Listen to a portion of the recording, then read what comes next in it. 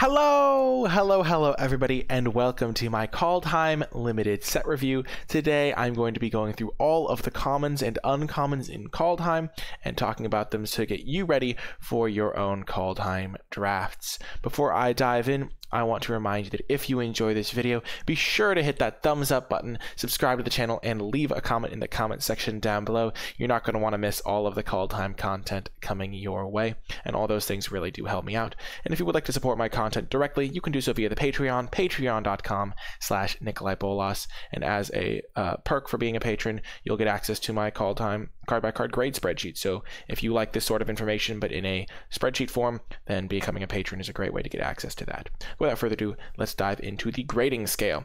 Starting things off with A's, those are the bombs, the hyper efficient spells, uh, the cards that you're going to be taking. Pretty much pack one, pick one. Unfortunately, commons and uncommons are generally not A's, or it would be pretty imbalanced. So there's no A's in the commons and uncommons. Moving on to the B's, these are active pulls into a color. These are the cards that make you want to draft that particular color or archetype. C's are solid playables. These are cards you're happy to put in your deck, but they're nothing too special. D's are filler. You're usually going to have a couple of these in your deck. F's are unplayables. And then there are two bonus types. There are sideboard cards that are only good out of the sideboard, but they get a special grade because some cards are just especially good out of the sideboard. And then there are build arounds, which need some extra work to be strong, but if you put in the work to support them, they can be quite good. Before I talk about the cards, though, I do also want to say that what I say about the card is more important than the actual grade because a lot of cards might fall into the camp of C or uh, C plus. That's like a pretty classic range, C's and C pluses. But the nuance of the card is really important because a card might be a C plus in one deck and much worse in another deck or something of that nature. Okay, so starting things off with white, we have Axgard Braggart. Uh, I'm not really going to be reading the cards because the picture is right here and it's just a lot of extra words. But essentially, Axgard Braggart is going to be just a solid C. Uh, the fact that it untaps means that you can play defense with it pretty well, so it fits nicely into a control deck. It fits decently into an aggressive deck as well because you're just attacking, untapping, and then you have a 4 4 on defense and you're attacking them with a 4 4. So I think that's going to be a pretty nice recipe, and it's just a rock solid common that you're going to be pretty happy to play in your deck. And if there's any boast synergies, you're pretty happy with that as well.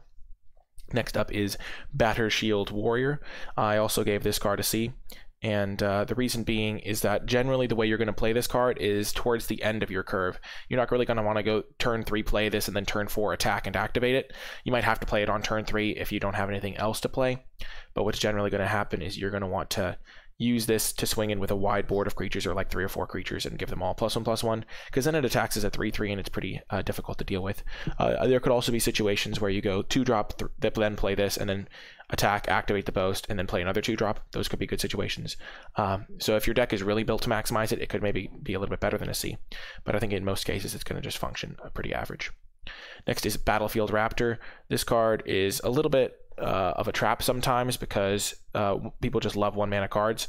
But a one mana one two flyer, even with first strike, is just generally not that good. If you have some equipments or auras that are good that you want to be putting on your creatures, uh, you can sometimes have good curve outs with this. But generally, it's going to be like a D unless the first strike is really relevant and there's a lot of X ones running around. In which case, uh, you'll either be relatively happy playing it as like a D plus or C minus type card, or it could come out of the sideboard if your opponent has a lot of X ones. Next is Beskir Shieldmate. I think this card's pretty good. It's going to be probably on the higher end of the C range. I don't know if it quite gets into C plus, but a 2-1 that dies into a 1-1 is just a pretty good bargain. So you're going to be happy playing this in your aggressive decks. Uh, it just trades off pretty well because a 1-1 body uh, leaving that behind is going to be pretty relevant a lot of the time.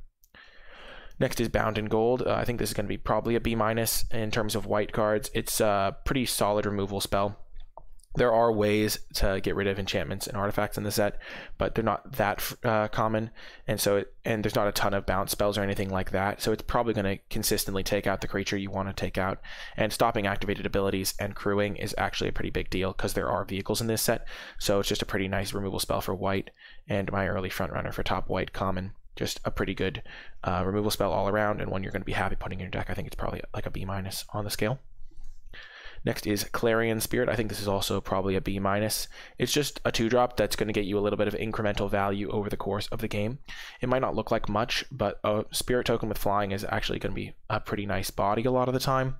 And the way that uh, the card works is if you play it on turn two over the course of the game if they don't kill it you might get like two or three like two spirits or something like that and that's just a really good card like a two mana two one that makes you i mean i mean a two mana two two that just get makes you a couple spirits is just a really good deal so i think this is probably going to be a b minus a card that every white deck's going to want Next is Codespell Cleric. It could be a key component in decks that care about casting multiple spells in a turn. I actually think it's going to be a C as a result of that.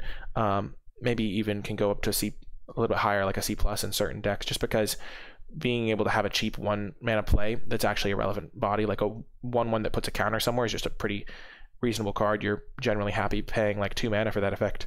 So if you can consistently be triggering it, or like if you go two drop, then play this, it's going to be pretty good, especially if you're triggering some of your spells matters cards. So it's a little bit finicky to use, so I gave it. I think it's going to be probably like a C, but it definitely has some cool potential and upside uh, and in certain archetypes. Next is Divine Gambit. This card's really tricky to evaluate, but I ended up settling on like C minus to reflect the fact that it's pretty narrow. You generally aren't going to cast it in the early game, but if you and your opponent are kind of both approaching top deck mode, or you're in a stalled out game, then it's going to be like a really good removal spell for only two mana. It can also help you double spell because it's so cheap, and uh, it's a little bit different when your opponent's putting the permanent into play from their hand because it's not like they're like shuffling their library and then flipping the top card. Uh, so you are not actually getting like two for one or anything. They're just getting a slight mana advantage if they do get to put something sizable into play. But overall, I think it's probably going to be a C minus. If you're in a if you're an aggressive deck, you're not going to want it because if you use it to take out a blocker, they could just put in a bigger blocker. But in a controlling deck, I could see playing a copy and it being pretty solid. Next is Doomskar Oracle. I think this is another just pretty rock solid card. Uh, it works pretty well for helping you cast a second spell due to Foretell uh, being a, a, like its Foretell cost only being a single mana. Uh, so you can go like uh, play your normal spell, then pay this for only one mana and get your second spell. Unfortunately, won't trigger on itself. I don't believe you can't like cast this as your second spell and gain the two life. But if you go like four t- four deltas for one mana, cast another spell, you'll gain two life, which is quite nice. And uh, it's just a reasonable stat line. So I think it's going to be a C, but it could overperform in some archetypes. Next up is Giant Ox. This is a really cute design. It's pretty decent in control decks uh, if you just need a big blocker. And being able to crew vehicles is nice because there are some pretty high crew cost vehicles. Uh, generally, just going to be a D though. A lot of decks aren't going to want it. If you want to attack, you're not really going to care about this unless you have an, a large number of high crew cost vehicles. But it's a pretty good uh, blocker for if you're a control deck. Next is God's Hall Guardian. I think this is also going to be a C, even though typically this sort of stat line would be like a D plus. And the reason I think that is because in uh, the format, if you go like put this face down on turn two, and then just play a four mana three six on turn four, that's just really good. This one really benefits from splitting up the cost because a six mana three six vigilance isn't great, but a four mana three six vigilance is pretty absurd. It's going to just brick wall a lot of your aggressive opponents and uh, as, the, as a result of that, it's going to be a pretty solid card, I think. Moving on to Goldmaw Champion. Not a huge fan of this. It's probably just a C minus or a D plus level card because you're not often going to be able to tap the creature while developing your curve out. So you're going to have to just save this until the late game where they might have multiple blockers. That being said, it's probably still just a C, C minus because a 3 mana 2 3 doesn't need all that much to become a reasonable card. But generally not as good as it maybe looks based on previous cards that have been able to tap your opponent's creatures. Next is Invoke the Divine. This is just a straight up sideboard card. It can take out the sagas that your opponents might have. It can take out the artifacts uh, that your that your opponent might be uh, having in their deck that you might not have uh, been able to expect in game one. So I don't think it's really main deckable, but it's a pretty reasonable sideboard card. Next is Iron Verdict. Uh, this card is just a C in my opinion. Not because it's uh, bad or inefficient, but mostly because aggressive decks aren't going to love this card, and control decks will love it. So you kind of split the difference and give it a C. But in a control deck, it's like a C plus, and in an aggro deck, it's like a C minus because um, if you're a control deck, having the ability to foretell this early and then hold it up for a single white mana is really good, uh, and it can be exactly what you want. But if you are an aggressive deck, your opponent's creatures are all going to be untapped uh, while you're trying to beat them down, and so you're not going to like really love having this card, even though it's probably still going to be fine to play a copy because you're not always going to be on the front foot as an aggro deck. Next is Kaya's Onslaught. I think this card's going to end up being a D plus or a C minus. It's uh, if you pay it for the three mana part, it's just relatively clunky. It can do some cool things. Uh, there was a card that was like this back in I think Shadows over Innistrad, that uh, I think it was called like Untamed Fury or something, and it was actually a pretty reasonable kill condition, especially if you combine it with another pump spell. But there's not like another massive pump spell in white like that gives plus two plus two or something like that. Um, I guess there's a there's one that gives plus two plus one to everything that we'll get to, uh, but there's not like a card that gives plus three plus zero, and then you combine it with this to like hit them for eight out of nowhere, uh, which is a sort of combo that you could maybe assemble in other formats with this card. Uh, the ability to hold it up for a single white mana is pretty reasonable, but giving the creature only plus one plus one means that it's a little bit more narrow in what it's going to be killing. Uh, because if you you have to like specifically be attacking like into a creature with only one toughness more, it's not going to help your like it's not going to help your three two take out a two five. Uh, no, I mean, uh, take out like a three three. Eh, I guess it will help but take out a two five, but generally it, it's a little bit more narrow because sometimes a combat trick will be like plus three plus zero in first strike or plus two plus two, and uh, this is often going to function similar to those. I got a little derailed on this card, but I think it's just going to be like a mediocre combat trick because it's a little bit clunky to use, and so probably D plus or a C minus depending on your deck. Next is Master Skald. I think this is going to be a rock solid C. It's just a really cool card. Um, by turn five, you're generally going to have a creature card in your graveyard, so that part's a little bit less of a concern than it would be on some of the other cards in the format that have that little line of text, the exile a creature from your graveyard. And uh, there are some enchantments that you're going to want to get back in the form of sagas, and there's some artifact creatures and things like that that you can put in if you have a master's Skald. So this is going to be a C, and it can even go to a C plus if you have some good sagas to get back. Next is Revitalize, just a pretty typical D level card. You don't really care about having revitalize in your deck, but it can be a niche playable if you need it. And sometimes if you're trying to cast two spells in a turn, it might be something that you need just to replace itself. Next is Rune of Sustenance, probably just going to be a C level card. I will say with all of the runes, it's generally going to be nice if you can put these onto an equ- equipment because then you can just spread the uh, extra benefit around to all of your creatures as they die off. But it's there's not as many good equipments in this set as you might think. So uh, I think you're generally going to end up putting it on a creature. You're going to want to make sure that the coast is clear before because you don't want to get blown out. But generally, pretty nice to give a creature lifelink, especially if it's a big creature. Next is Shepherd of the Cosmos. I think this is going to be a C plus level card. Just pretty reasonable effect. And uh, you're oftentimes, just like that massive cat, the 3 6, you're going to be casting this for foretell a lot of the time because splitting up the cost is going to be really nice over the course of a couple turns. And then you just get back your 2 drop, which is nice. And uh, a 3 3 flyer is a pretty reasonable body. So I think Shepherd's a pretty nice card. Next is Spectral Steel. This is a really interesting design because I think that it's generally going to be worse than it looks. I would I think it's going to be like a D level card just because the base effect isn't very good. If it had a better effect, uh, then being able to like use it to get back other auras or equipments would be nice. But the thing is, is in limited generally, first of all, equipments aren't generally going to the graveyard, so that line is a little bit uh, less useful.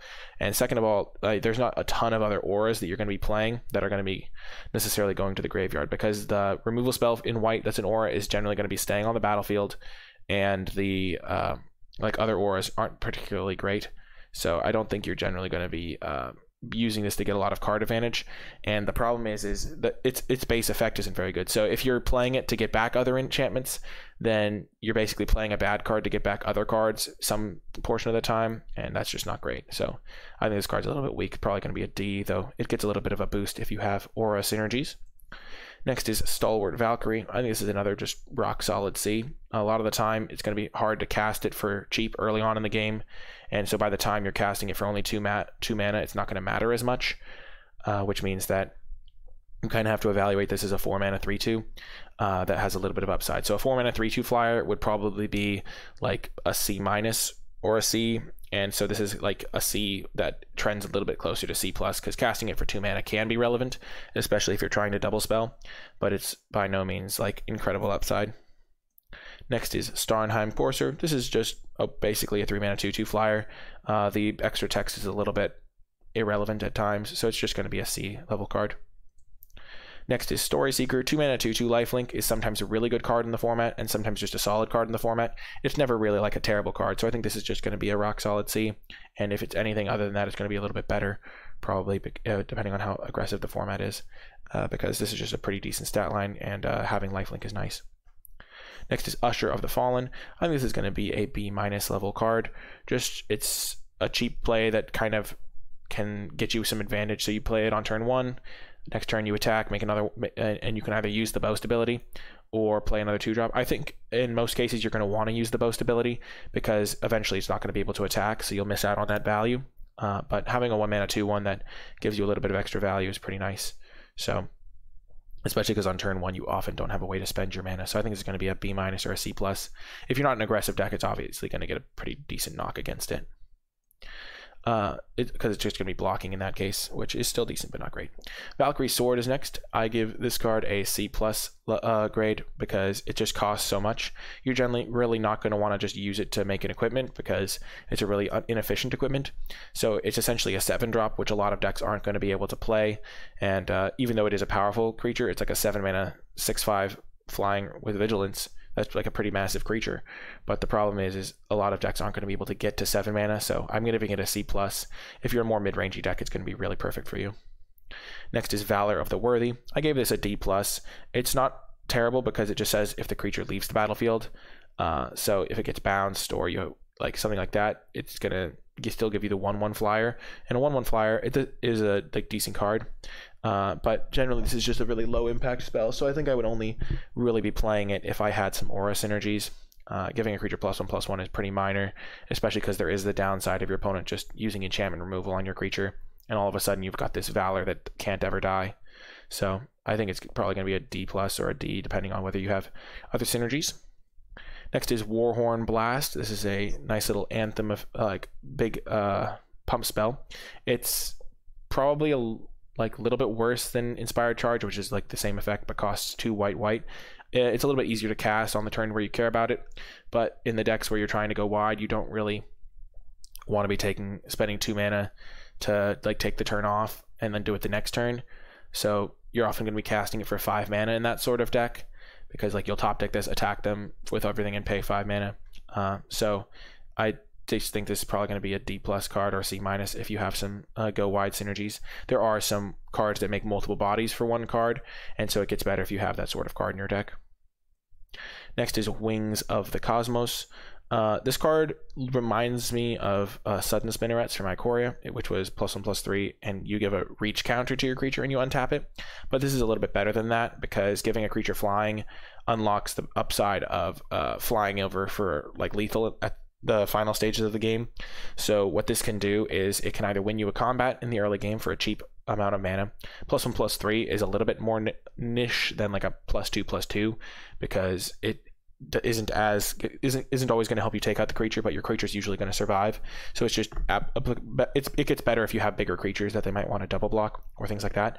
But then in the late game, if the board is stalled out and they don't have a like flyer or something, then you can top deck Wings of the Cosmos, uh, cast it on your like five five, and all of a sudden you're hitting them for six in the air and finishing them off. So it gets a little bit of a boost for that. I think it's going to be like a C minus level card because of that.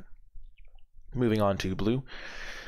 Starting things off with Annul, we have, I think, just it's going to be a sideboard card. It's just pretty narrow, but if they have some artifacts or enchantments that are really good, like some really good saga or something, you're going to potentially be bringing this in because it is pretty cheap and uh, you can get a nice mana advantage if they like tap four for their sweet saga and you counter it for one. So decent sideboard card. Next is Augury Raven. I think it's going to be a C plus. A four mana three three is already just a good. A four mana three three flyer, shall I say, is already a good card, and having Foretell tacked on gives it some nice extra upside.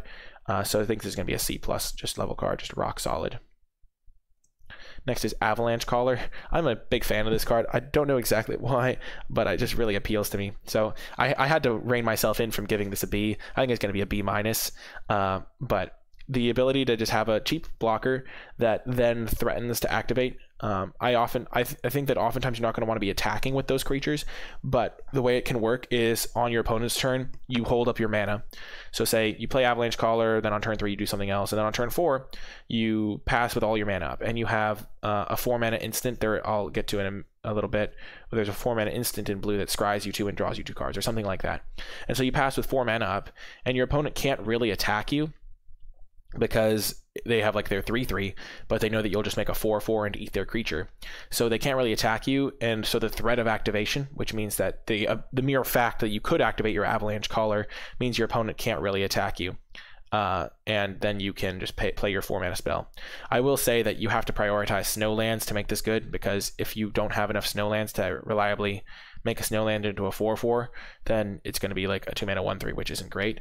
But if you have like five snowlands in your deck or four snowlands in your deck even it's going to be pretty reasonable because all you really need is one snowland in play to make this card a pretty scary threat.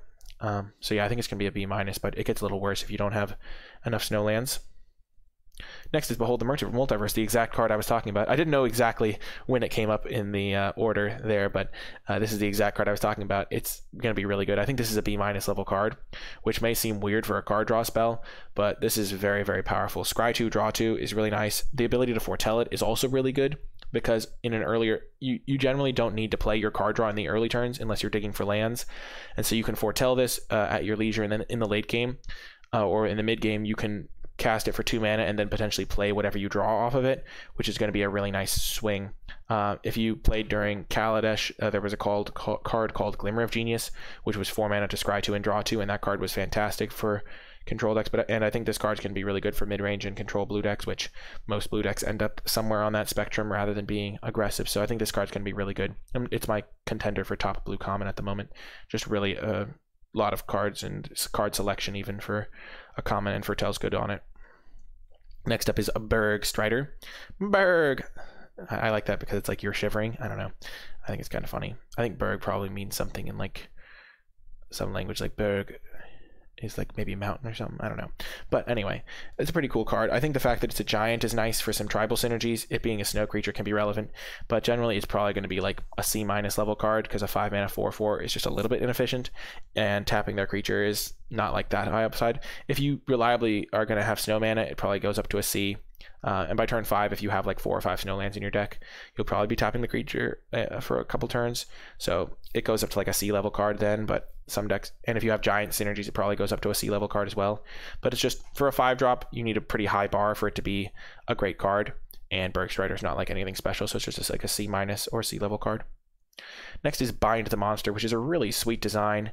Uh, I'm actually a huge fan of the design on this card. I love I love cool designs. It's one of my favorite things to look at. Uh, but bind the monster for a single mana, you tap the creature and then does damage to you. So it's like a combination of bubble snare and feed the swarm from Zendikar Rising, which is really cool.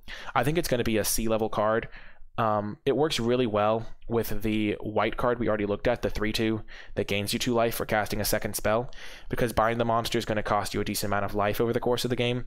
But if you're gaining 2 every couple turns, then that can, that can help offset it. But generally, the reason it's only going to be a C is because if you put like 3 Bind the Monsters in your deck, then you're going to be taking a lot of extra damage, and it's going to be hard to. Uh, like cast multiples of them unless you have a lot of life gain, which is going to be a little bit hard to facilitate sometimes. So if you are going to be taking Bind the Monster, prioritize life gain a little bit higher so that maybe you can play multiple copies. But I think it's going to be like a C level card. It's pretty good uh, to cast the first copy, but after that it does get a little bit rough, especially if you're trying to take out some of their big creatures. Next is Brinebarrow Intruder. Uh, this card is a lot like Zulaport Duelist. It doesn't have the mill synergies or the party sub themes, which is why I don't think it's going to be too good, but it's probably going to be like a C minus level card, just because it's a pretty powerful combat trick esque effect. It does really well against X ones. It's pretty good against any small creature in the early game to help facilitate a double block, and uh, for that reason, it's probably going to be like a C minus level card, even though it it lacks some of the synergy that Zulaport Duelist had. Um, it's it's uh, gonna probably gonna be a C minus or some maybe a D plus, but most likely a C minus level card. You're probably gonna be okay playing the first copy of this in your deck. Next is Depart the Realm. This is a really neat design as well.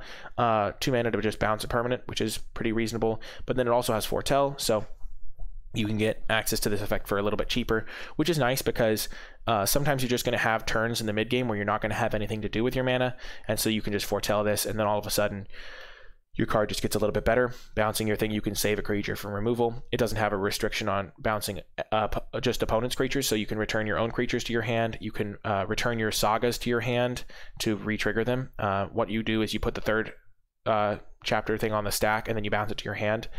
Um, and uh, sorry about that. And uh, then you get to recast the saga, so that's really good. So Depart the Realm is going to be like a C level card, but if you have Foretell synergies, sagas, uh, or things of that nature can go up to a C plus uh, pretty easily. and I think it's a really cool design as well. Uh, I was really when the cards were being revealed in the set, uh, Depart the Realm was one of the later cards revealed, but I just knew that they had to have a foretell bounce spell because it's going to be really tricky to know what your opponent does. If they foretell a card, it could be a bounce spell, it could be a counter spell, which is an uncommon, it could be a card draw spell, it could be a creature. So lots of cool little options with foretell, which is going to be real fun to see how it plays out. Next is Disdainful Stroke. This is probably going to be a C minus or D plus uh, depending on how the format shakes out. If there are a lot of expensive cards that matter, which I think there are some that matter for sure. And if it isn't a great main main deck card, it'll still be a, just a decent sideboard card. Uh, it's just pretty efficient. You and it's also nice because you don't have to worry about holding up your counter in the early game because you know it can't counter anything, and then in the mid game you counter something for two mana, which is nice. It does play pretty well with foretell because if you have the Behold the Universe or whatever the card draw one is called, and you're holding that up for two mana, you can also hold up Disdainful Stroke, which gives it a little boost. So I think it's probably going to play out like a C minus level card. It's going to be pretty decent, or maybe a D plus, depending on uh, how many archetypes have expensive cards. Next is Draugr Thought Thief. This is a really neat design as well. You can look at either your deck or your opponent's deck, which is kind of neat, and uh, then you essentially get to scry for them. I think it's just going to be like a uh, minus level card. It's a three mana three two that scries you one, which is just a reasonable card, but nothing too special. And being able to target your opponent can be pretty helpful uh, in a top deck war or something like that, where you just need them not to draw something for one turn while you finish them off.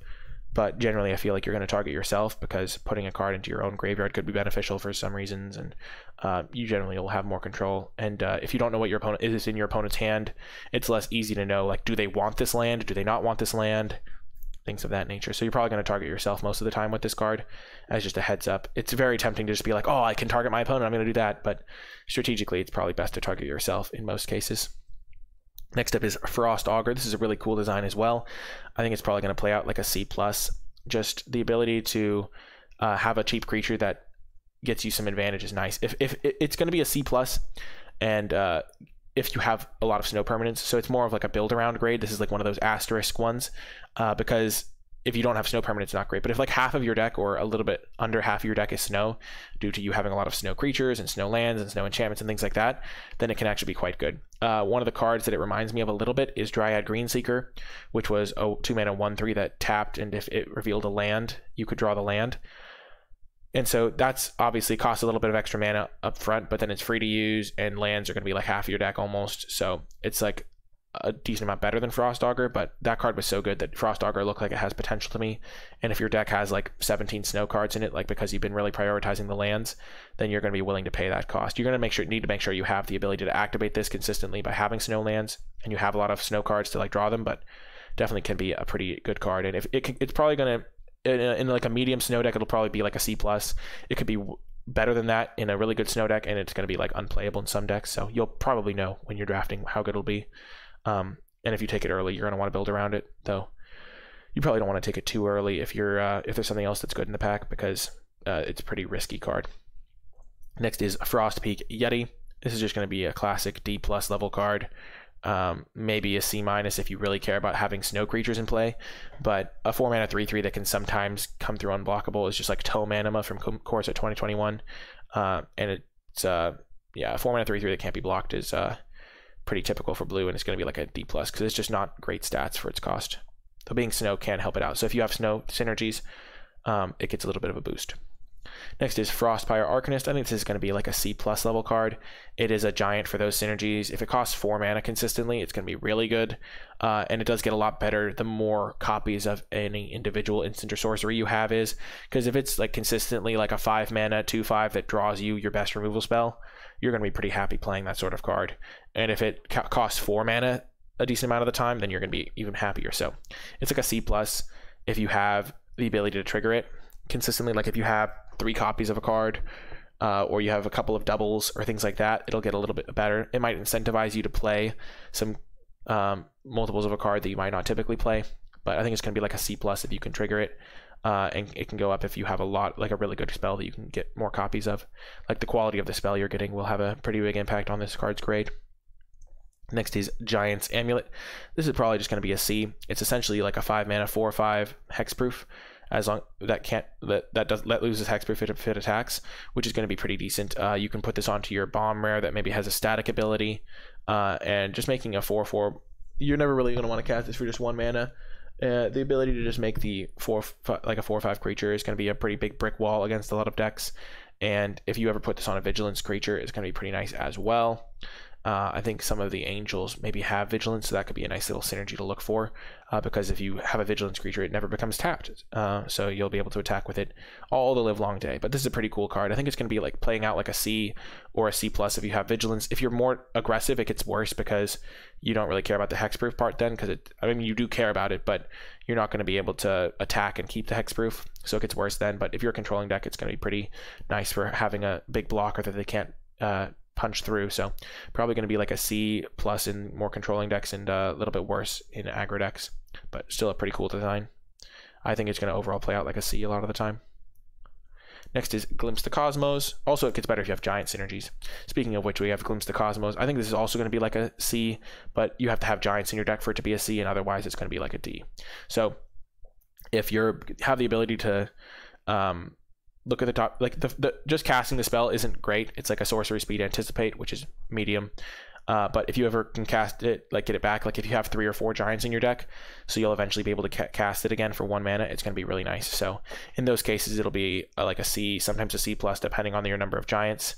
Uh, though generally going to trend towards a c and then if you only have no giant if you have no giants glimpse the cosmos is going to be like a d level card Next is Ice-Bind Pillar. This card is really, really good, uh, but you do have to have enough snowlands to make it work. So if you have like five or six snowlands, this card is easily going to be like a B plus level card, um, bec- because or, or B or a B plus level card because you're going to be able to use it consistently.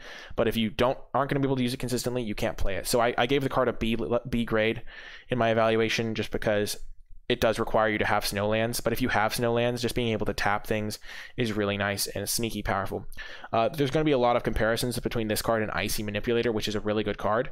Uh, but one of the reasons Icy Manipulator is so good is because if you take it early in the draft, you know it's going to be an all star in your deck because it's colorless to cast and colorless to activate.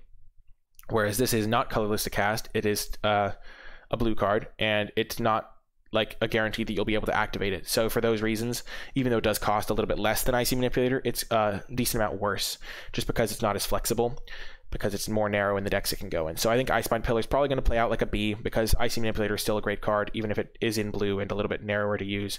Uh, and the cost reduction does help in that regard too. So I think it's going to play out like a B. Very good card. Be on the lookout for Snowlands if you have this one. Next is Inga Runeyes. I gave this one a C plus, but that's because I'm a little bit ambitious on its build around potential. Uh, if it's not going to be built around, it's probably going to be like a C because it's just a 4 mana 3 3 that scries 3, which is a reasonable card on its own. But if you have a card like Village Rites, which we'll, we'll get to later, that lets you sack a creature or instant speed removal spells, then the way you can do this is you trade off your Inga Runeyes with another creature, and uh, before they die, like the before the block resolves, you um, you kill a creature with your instant speed removal spell, or you sacrifice your own creature with an instant speed removal spell, uh, or something, yeah, or things of that nature, and then you have three creatures dying and you draw three cards. If you're drawing three cards from this in some percentage of games, it becomes like a C plus, or sometimes even a little bit better if you can consistently trigger it. But if it's just a four mana three three scry three, it'll probably just be a uh, C level card it reminds me a lot of Octoprophet from Core Set 2020 in that way, but I think it's going to be pretty reasonable, and it's not that difficult to trigger if you have some instant speed removal. Uh, it's definitely possible. You just have to like trade this off. So probably going to play out like a C plus because when you do draw three in like the 10% or 20% of games where that happens, you're going to be way way ahead. Next is Karfell Harbinger. I'm actually really excited to play with this card. It looks really sweet. It's uh like man blue doesn't often get a mana ramp uh, type thing, and uh, since there are a lot of foretell cards, you're going to be able to use this for mana pretty consistently. So I think this is going to play out like a C plus. Uh, two mana one three that taps for mana is pretty nice. Usually it's like a little bit more narrow in what it can tap for. Um, and like it might only be able to tap for foretell or things like that, but it can cast a reasonable subset of your spells, which is going to make it a pretty decent addition to your deck. There are also some things that minorly care about wizards, like the five mana two five that we looked at earlier. I think cares about having wizards or giants in play. I'm not 100% on whether that's true. Let's just double check. Yeah, if you have control a giant or a wizard, and it is a wizard, so Inga's a wizard, Karfell's a uh, Harbinger's a wizard, so that's a relevant thing to keep in mind is that it can sometimes make your other cards a little bit better in that regard as well. Next up is Littjara Kinseekers. So this one's going to be pretty tough to use. I think it's just very clunky. I think it's going to end up being like a C minus or D plus, depending on how many of a certain type you have. Because if it's a four mana three five, some number of the games that like Scry's one, that's a really good card. But a four mana two four is a really bad card. So I think it's probably going to end up playing like a D plus, but in certain decks you're going to be able to get it more consistently. Like it might be the sort of card that only works in like a dedicated shapeshifters deck or a dedicated giants deck slash uh, like wizards deck, like giant wizard slash type deck, because you might just not be able to trigger your Littjara Kinseekers very easily. And if you can't trigger it, it's not a very good card. Though the downside's not like unplayable, so it's still just gonna be like a D plus. Um, but if, if you can never trigger it, it's going to be like a card you never want to put in your deck. But if you can sometimes trigger it, it gets like a D plus and gets a little bit better from there. Next is Mists of Littjara. So we're on the Littjara binge here because this was Ki- Littjara Kinseeker. So we're traveling through Littjara. And uh, I think this card's not going to be great. A two mana uh, removal spell that only gives minus three, minus O is just a little bit weak. One of the problems is it, it, it's like it's not a great tool for an aggressive deck because if your opponent if you can't like use it to get rid of a blocker and that's just a major downside because if your opponent plays like a 3-4 or play play a 4-4 and you have a Mist of Littjara, you're not going to be able to attack into their creature and the fact that it just sticks around is really a big deal uh, on in a more defensive deck it, it's a little bit better because you don't really care as much and you can win with a flyer or something like that but um, it reminds me of Slimebind from Ravnica Allegiance, and that card was like medium, but you really needed to have like flyers to be able to attack past their ground creatures. And sometimes your opponent's going to play like a 5 5, and a 2 5 is still like a relevant body. So Mist of Littjara, I think, is going to be like a D plus level card. Or maybe a C minus, depending on your aggression level. Next is Mistwalker. I like this card a lot. Uh, it being a changeling is going to be pretty relevant. A 3 mana 1 4 flyer is like fairly typical stats, and the ability to attack for a little bit more if you pump some mana into it is nice. Uh, I think generally what's going to be good about this card is it being a changeling because it can fuel some of your tribal synergies, and being a flyer is kind of nice, and it's a decent blocker. And for all those reasons, I think the card is just a C. Um, I think changelings are going to be pretty nice for enabling your giant synergies because, sorry about that, um, being a uh, like there are a lot of cards that care about having giants or there are a reasonable number and but and yet a lot of the giants are more expensive so having like a three mana changeling that's a reasonable card to trigger your giants card is going to be quite nice so for that reason i think it's going to be a c uh, and the ability to sometimes attack them for like four damage in the mid game. I mean if you have eight mana or i mean if you have six mana you'll be able to attack them for four with your guy which is a reasonable clock so probably going to be a c level card next up is pilfering hawk Again, probably going to be a C if you can enable the snow, just because uh, it, it's just like uh, Seeker of Truth. Um, it's like the card in Ikoria that was just a two mana one two that could tap to loot, and this is a decent amount better than that because it's a snow creature, so it'll fuel your other snow permanents, and it's a flyer, which is nice for chipping in for damage. Uh, so if you have other, some, if you have some snow lands to activate it, you don't need that many because you're generally not going to be activating this until the mid game or late game where you're going to be trying to ditch your lands. Uh, sometimes it's nice to activate early if you need to find lands, but generally you're going to be pretty happy if you are um, casting your two mana one two, fueling your other snow cards, and then looting away cards late. So I think it's going to be like a C level card. It's a really good design. I, lo- I love a lot of the designs in this set, and the artwork is just gorgeous. Knocked it out of the park, Dan Scott. Really, I mean, there's a lot of gorgeous artwork, but I'm just really struck by this one. It just looks incredible, really.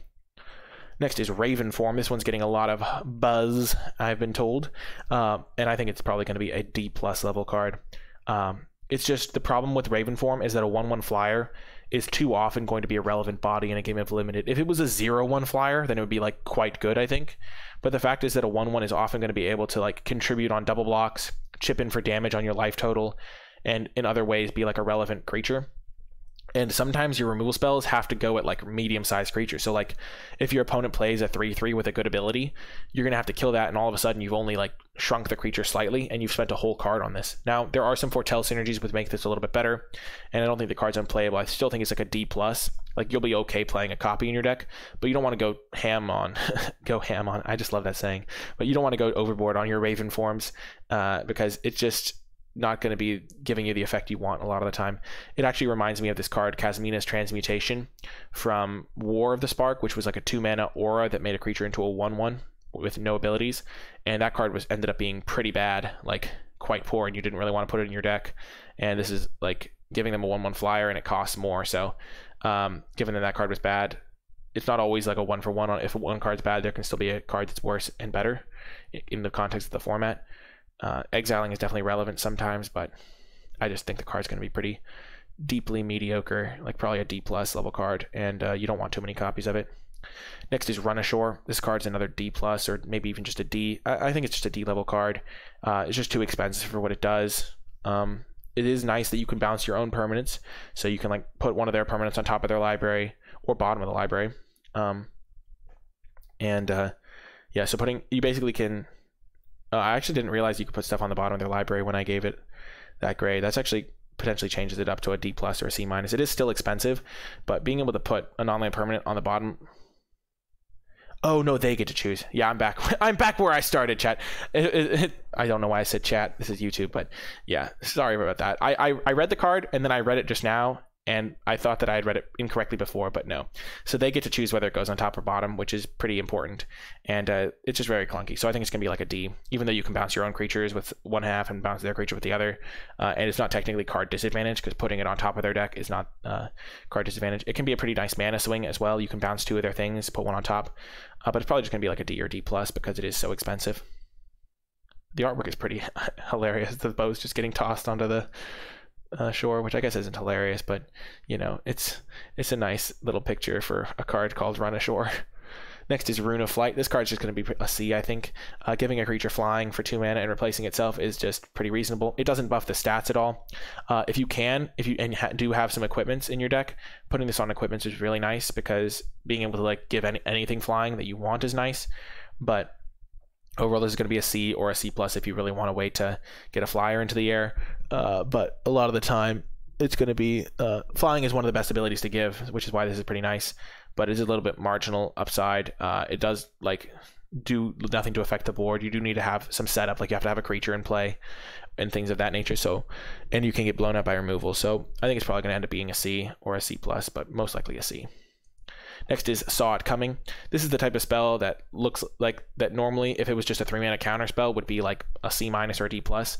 But because of the format context with Foretell, I think it's going to end up being a C or a C plus in a heavy Foretell deck. Um, because if you for if you have this card in your deck and you cast this against your opponent, all of a sudden, every time you foretell a card, they have to be worried about whether or not it's your counter spell. And so you can have multiple cards face down, and you can have your then you can start holding up like three things at once. You can hold up your counter spell, you can hold up your draw spell, and then you can hold up your like one mana deal five to a, a tapped creature.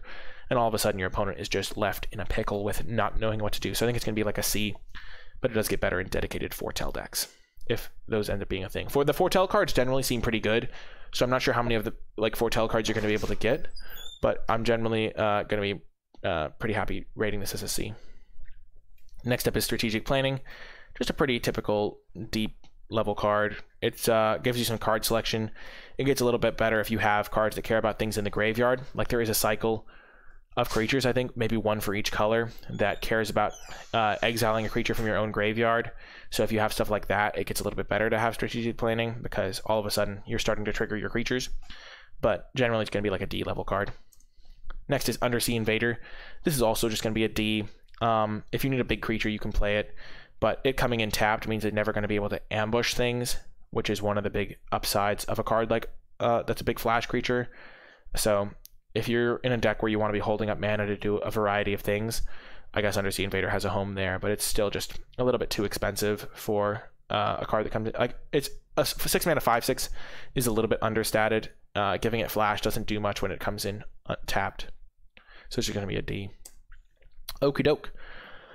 Deep breath. Moving on to the black cards, we start off with Bloodski. it's not actually Bloodski, but that would be a really funny name. Blood Sky Berserker. Uh, and I think this card's going to be a C plus, just a little bit above average because a two mana one one that can just become a three three fairly easily. Um, you have to re- recognize. It's important to recognize that if you like draw this in the mid game, it's going to be hard to consistently trigger it because by that point you're going to have probably used your double spells to trigger your other cards that care about it. But it's got some nice upside in the early game uh, because if you start attacking them with a two mana three three and then you've really built your deck and you start attacking them with a two mana five five early in the game, uh, it's going to be pretty difficult to deal with. So I think it gets a nice little C plus a grade. It's also just a nice little two drop, so you can use it to double spell with other things. So you can like cast this and then cast a second spell on the same turn in the mid game, maybe. Next is Death Knell Berserker. I gave this a C minus. A two mana two two is all, is generally just like a C minus base because you don't need that much to make it um, be able to put it in your deck and be decently happy with it. And there are some cards that are going to buff this power if you like put an equipment on it or something. If it dies into a 2-2, that's actually really good, especially if you were using an equipment to make it bigger, because in that case you can then just put the equipment on the 2-2 and have another like decent sized creature. So I think it's going to be a C minus, and it gets better if you have more ways to make it big. Um, also, if you like use uh, like combat trick to help it trade off or something like that, then you get a 2-2 back, which is a little bit of nice upside if you're two for one yourself with a combat trick. Next is Demonic Gifts. It's a pretty good card with the Death Knell Berserker um, because the creature dies and returns to battlefield under your control, and it buffs the power. So you would get that nice little 2-2 zombie. Uh, but and you'll even get the Death Knell Berserker back. But it is a little bit expensive, uh, clunky, so I gave this a D plus, even though um, it's like a reasonable combat trick to put in your deck. And it protects from removal as well. Next is Dogged Pursuit. I gave this card an F. It's just doesn't do anything. One of the ways you can think about this is like a four mana, one one lifelink, unblockable shroud creature. So you can't interact with it. Your opponent can't interact with it. It just chips in for one every turn. And spending four mana for that effect is not good. Uh, people compare this to Ill-Gotten Inheritance, which is a card that I also wasn't a fan of, and I can I can readily, I think everybody can readily see that Ill-Gotten Inheritance was far better, not only for the format context where things like spectacle mattered, but also because having a six mana activated ability to deal four to your opponent and gain four is just a huge upside on a card like this. Overall, Dogged Pursuit's an F. You shouldn't be playing it. If your opponent plays it, you should breathe a sigh of relief that they didn't play a real card. Like it can, it'll sometimes like do some annoying things, but just compared to other four mana cards you could play, it's just really bad and not a card you should ever be putting in your deck. Next up is Draugr Recruiter, uh, which is going to be a pretty decent card. I think it's going to be a C minus just because it's a little bit expensive to use. But when you think about um, it being like a kicker card, like if you imagine it was like eight mana for a three three, they returned a creature from your graveyard to your hand, you're like, well, that's not very good. But then when you think, oh, if it was a four mana three three with kicker for four, where you could all of a sudden do that, it gets a little bit better. And this is, I think, even a little bit better than that because if you say three play a three drop and it trades off, then on turn four you play Draugr Recruiter, and then on turn five you attack and pay your four, and then Draugr Recruiter trades off. Then all of a sudden you've gotten the value and you um, like were able to um, use your mana pretty effectively.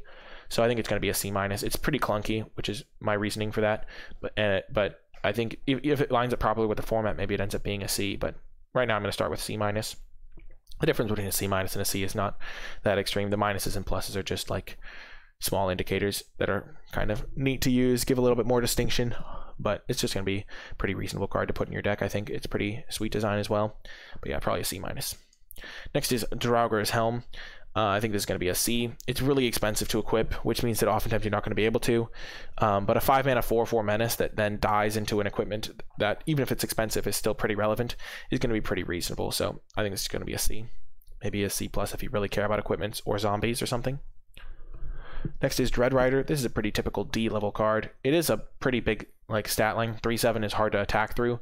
Um, but it's not as easy as it would sound to get a creature card into your grave, get like consistent creatures into your graveyard. Like you maybe you'll have a, a couple, um, but sometimes you just won't have any, which is kind of a weird like quirk of magic. Is sometimes you just don't have a lot of creatures in your graveyard, especially if you have other cards that are caring about exiling them or returning them into your hand or things like that but a six mana three seven that can then like make them slowly lose life is is decent, and you'll play it as a finisher. But for a six mana card to be like a premium card that you're looking to draft early or take in the middle of a pack and be happy with, it has to do like something pretty special. And Dread Rider doesn't really do that. I think it's probably a D or D plus level card. Like you're not like unhappy if you play it, but it's not like a card that you really need to prioritize ever.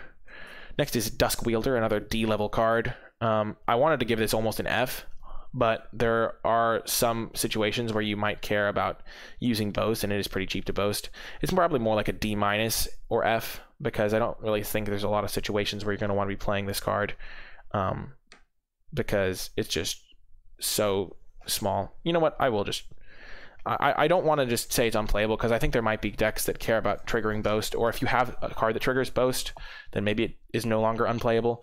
But for starters, we can just call Dusk Wielder an F. I have revised my opinion from when I was preparing this pres- from, was preparing this set review, where I was like, ah, maybe there's a spot where you want this card. Um, my, I think there is some thought like, oh, if you're a deck that cares about casting two spells in a turn, or you're a deck that cares about Boast, maybe it's marginally playable. But in general, it's going to be just horrible jank. So we'll give give it a D minus. We'll give it a little bit of an upgrade from F, but I think it's generally going to be quite quite poor. And I don't think personally that I'll ever play it, um, unless there's like some really crazy rare that cares about boasting. So maybe it is just a F level card. A lot of discussion for such a terrible card. Next is Elderfang Disciple. I think this card's going to end up being a C minus. So it a lot of people love this type of effect. It feels really nice to like be like, oh, I got a two for one with my two drop. But the thing is, is a one one.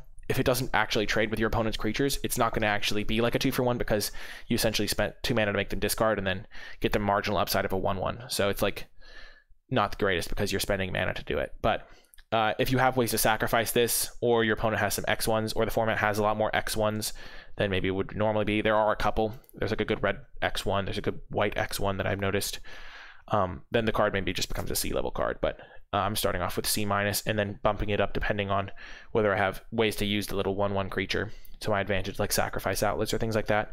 And it does actually become a pretty decent card if you have sac outlets because it's a pretty free thing to sacrifice. Next is Feed the Serpent. Uh, what is my front runner for best black common? Um, and uh, just pretty nice. I think it's probably going to be a B minus exiling a creature for four mana is a little bit expensive, but it's just unconditional removal, and those are the sorts of things you need to have in limited. So, pretty nice card, and one you're going to be happy taking early and playing often. Being double black does mean that you're not going to be able to splash it, but it's still going to be a great card. Next up, Grim Draugr. I like the word Draugr. It's kind of fun to say. Uh, I think this is going to be C minus. Uh, three mana, three two that has an activated ability is reasonable. It being snow could be relevant. It being a zombie is maybe sometimes relevant uh, for like one of the build around uncommon, one of the uncommons that we'll see later. At least it may be some rares. Uh, but uh, three mana, three two needs a little bit of help to be a decent card, and having the extra activated ability can be relevant. So, but if you can't activate it, it's a D plus, and if you can't activate it, it's like a C minus. And you can activate it multiple times, so you can sometimes like use it a few times in a turn if you have enough snow lands. Next is Hailstorm Valkyrie. I gave this card a C minus because having a lot of snowlands is going to be tricky, and it's kind of expensive to activate. Uh, a four mana, a two two flyer is just too small. Uh, and then if you have to spend two mana to activate it, then it's just a little bit um, too clunky. It's also like not a guarantee that you're gonna have a lot of snowlands. So I think it's probably gonna end up being like a C plus, C minus, or a D plus level card, just because it's pretty terrible on defense if you don't if like you tap out for this and it's just a 2-2 your opponent just kills it with like a small removal spell or something and then even when you're attacking, it doesn't attack for very much. So I'm probably going to give this a D plus, and then it goes up to a C minus if you have enough snow lands to activate it like twice in a turn. Because then it gets like like if all your lands are snow lands, then you can like use this to hit your opponent for like six in a turn sometimes, which is pretty nice. But even that's still not great because it's such a small creature to start with. So probably a D plus in most decks and a C minus in others uh, if you really care about the snow part. Next is Infernal Pet. I'm actually really excited to play with this card, even though it seems to be eating a butterfly. I just noticed that. That's horrifying. Gosh, the cruelties of war. Infernal Pet, yikes. But I think this is going to be like a C plus level card. Uh, a three mana two two that can become a flyer and uh, get the counter permanently is quite nice. So a three mana three three flyer would be really good, and this is oftentimes going to be able to play out like that if you build your deck properly, and it can even get bigger from there. So I think it's going to actually be a pretty nice card and I'm pretty excited to play with it. Um, so yeah, I, I, I hope it plays out like a C plus because I think it'll be a really fun card to play with if it ends up being good. My gosh, the flavor text is dark. That is brutal. I I just saw the flavor text here and it just fully sank in what it's saying. Gosh, I never read the flavor text before, but geez Louise, maybe we don't want to incentivize this sort of card in our decks. That's a bit of, a bit of a negative vibe there. Next up is Jarl of the Forsaken. I think this is also going to be a C plus. It actually really does benefit from Foretell because with this sort of card, sometimes your opponent will make an attack and you're like, well, they're suiciding their creature and the only card they could have is Jarl of the Forsaken. But if they have just a Foretell card face down, you're like, well, maybe they have Jarl of the Forsaken or maybe they have something else. They only have two mana up, so they'd have to have exactly that to punish me or something like that and uh, or you can use it on their turn. You're like they're like attacking in, and you just chump block and then flash in Jarl. So I think it's gonna be like a C plus or uh, level card. Um, because it, it, if your opponent's really good and plays around it, it gets a little bit worse. But if your opponent uh, doesn't know it's coming or they can't afford to play around it, it just like gets a lot of work done and lets you use your small creatures and leverage those. So it's gonna be a C plus level card a lot of the time. Next is Karfell Kennel Master. Really sweet design. I love some of the designs in this set, and this is one of my one of the ones that I like a lot. Um, a five mana four four needs a little bit of help, but giving two creatures indestructible and plus one plus O uh, lets them attack a lot of the time. So if you have like a couple three twos, all of a sudden they're attacking for like eight, which is just massive. So I think this is going to end up being like a C level card. You can't afford to put too many five drops in your deck, but if you set up the board for this and then hit them for like eight, it's just going to be really tough for a lot of decks to deal with. Like even just with two three twos, it's really good. And if you have some lifelink creature, you can gain some life and things like that. Um, it's just really going to change the texture of the board a lot of the time. So it is expensive, but it's going to be a really solid top end card. Next is Koma's Faithful. I give this a D plus. There are enough ways to punish X ones that this isn't going to be great. Uh, each player milling three cards could be relevant if you have some stuff that cares about exiling creatures from your graveyard, but generally I'm not going to be uh, super thrilled to put this in my deck when there's a decent number of one ones and one one flyers running around or one one uh, or just yeah. I think it's generally going to be trading off with a two drop or a token, which isn't great. So it's probably a D plus. Next is Poison the Cup. This card is fantastic. It's going to be like a B level card. Um, it's like murder, but it can scry too if you foretell it, which is just really nice. Um, so just a great removal spell. Probably just going to be a B, maybe even a B plus, depending on uh, how things end up working out. If you end up foretelling it a lot of the time, but I feel like you're just going to often cast this as a murder, which is going to be like a B level card. So uh, just a nice rock solid B there. Really good card. Next is Priest of the Haunted Edge. This has some really trippy artwork, but it's going to end up being a D. Um, most decks aren't going to have enough snowlands to really consistently use this to kill something big. Uh, some decks are going to have a lot of snow stuff, and so in those decks it gets a little bit of a boost, like a nice build around boost. But even then, if you have like three, if you have say five snowlands in your deck, or um, like like if you have like five or six snowlands in your deck, then maybe in the mid game you're going to be able to give something minus two, minus two, or something. So it's still not great. So I think it's going to be like a D, and uh, in most decks it's going to be like an F, and in some decks it'll be like a D plus. so uh, really variable depending on how many snowlands you have, but a lot of the time it's going to be a pretty uh, mediocre card, or just straight up awful unplayable card. Next is Raise the Draugr. This is going to probably be a C. The fact that there are changelings in the set makes this a lot better because it increases your odds of being able to bring back two cards. Um, if you have a lot of zombies or things like that, then it could be nice as well. But you really need to consistently be bringing back two cards. Uh, if you can only bring back one card most of the time with this, then it's going to be like a D. But I feel like there's going to be enough overlap in the creatures or tribal synergies or changeling stuff that you can bring back two cards. So probably actually going to be more like a C minus um, or D plus level card when you uh, in terms of prioritizing it because it's going to be hard to use sometimes. So probably just a C minus or D plus. Eh, let's just make a final decision. It'll be a C minus because it is a nice effect in the mid game, and having one copy of this in your deck is going to be nice. And you'll just have to have a couple changelings or a couple of zombies or something in your deck. But and then if you don't have multiples of the same type, then it just becomes like a D. Or yeah, if you don't have any multiples of the same type, it come, becomes like unplayable almost. But I'm assuming most decks are going to be able to trigger this most of the time, or at least some of the time. So yeah, probably going to be a uh, D plus in most decks, and a C plus, C minus if you do some work. Man, I don't know why that card was so hard for me to wrap my head around. C plus, C minus versus D plus is just like a kind of arbitrary grade, which is like, are you happy to have that card in your deck? And I feel like a lot of black decks are going to be happy to have one copy of that card, which makes it like a C minus in my mind. Whereas a D plus is a card you're like, oh, I can put this in my deck, but I'm never going to be like looking for one. Okay, next is Return Upon the Tide. This is also going to be like a C minus card. I feel like you're oftentimes going to want to foretell this um, because spending five mana in a turn isn't as good necessarily. Uh, and you can maybe just uh, spread it out because it isn't a card you want to cast into the late game. But returning a card and getting two elves is nice. Uh, so if you have some elves that you might want to get back, then it's like a card that you're looking for. And if you don't have elves to get back, then it's a D plus.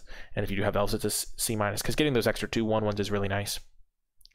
Next is Rune of Mortality. I think this is a C plus level card. It's actually really nice because there are some cards that care more about dealing one damage than other than about death touch than others. Um, there's a car- card in red that we'll get to that has a boast ability to ping something, and that's like this card's best friend. Because if the card has death touch, then all of a sudden you're pinging and uh, killing their creatures with the one damage. It's also nice to put on an equipment because making your equipment give death touch makes all of your creatures incredible blockers, which is really hard to deal with. So I think this is going to be a little bit better than some of the other runes, and I'll probably end up giving it a C plus because of the nice little combos you can get with this card. Maybe that means that the Rune of Flying should be a C plus as well, because flying is also a good ability. But I just see a lot of potential with this, and especially putting it on equipment for defensive purposes. And just generally giving your little creatures death touch is nice. Next is Skemfar Shadow Sage. This is just going to be a, a C minus level card. Um, it'll do a couple damage, it'll or it'll gain you a couple life, but a four mana two five is still just like a reasonable body regardless of that. And the lowest it's going to do is gain you one or deal one. So the flexibility combined with the stat line makes this like a C minus in my mind. And I can imagine some decks where it's like really good, where you have a lot of changelings or a lot of elves or something, and you just like blow them out of the water, which would be pretty cool. So a C minus, but it can get a lot better if you have a ton of elves or something. Next is Skull Raid. I'm also going to give this a C minus. It is a little bit expensive to use, but the fact that you're always going to get two cards out of the deal is really nice. And this artwork is like really, it even reminds me of Van Gogh because the guy in the picture kind of looks like Van Gogh, but it's just kind of really trippy art.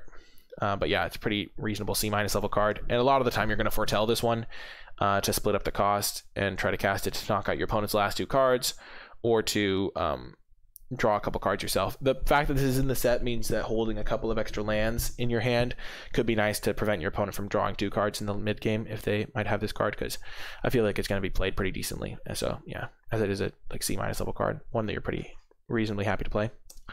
Next is Tergrid's Shadow. I gave this card a C because you know it's coming, but your opponent doesn't. So especially if you use the foretell on it, then maybe you can wait until uh, after a combat where you have blocked two of their creatures and then you cast this and kill two of their other creatures. Now that you have no creatures, uh, it gets better if you can play build with it and play with it. And so I think it's going to be like a C level card. Uh, because it is going to be really bad against tokens and stuff, but it's going to be really good against other matchups. So it's a pretty swingy card, but I think overall it's going to be a C because you can build the board state in such a way that it'll work out for you a lot of the time, and then sideboard it out if it's bad in the matchup. Next is a Vengeful Reaper. I also gave this card a C. It's got a lot of abilities, but a lot of them are kind of a hodgepodge here. So it has Foretell. It also has Haste and Death Touch, which isn't the greatest combo. Death Touch is generally good on cheap creatures that are small and are going to block because it's not like great on attackers. But it's like it's a flying haste creature, so it has that going for it. But it's like a four mana two three flyer, which is not great. So but it does block well, which makes the haste not very good. So I think it's going to be a C, but maybe it'll be a little bit better if you care about angels or something, uh, or if you care about, ends up working out in its favor. But I feel like it's just too clunky. Like it, a four mana two three flyer wouldn't be great. Giving a death touch makes it a good blocker, but you would rather have death touch on something smaller. Not like that you can like choose. Oh, I can take my death touch from my vengeful reaper and give it to my one one, but uh, generally, it's just the haste is also a little bit weird on a small powered creature like that. It's probably going to be a C. Maybe it's a C plus if you really if the abilities really line up well or something. But it's just such a weird card. I think it's probably going to be a C level card. Moving on to village rites. I mentioned this a little bit earlier, but having this as an available sacrifice tool is nice. You can hold this up if your opponent goes for removal. All of a sudden, you sack the creature, and essentially you don't have to like pay the cost. So you're just drawing two cards because they were going to kill the creature anyway there is a way to steal your opponent's creatures in red, so you can steal their creature and then sack it to village rites, which is a reasonable combo.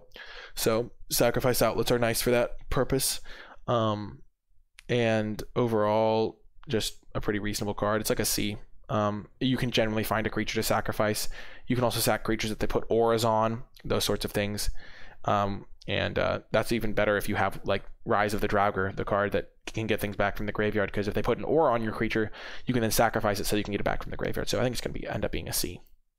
And maybe the last black card, I have no idea.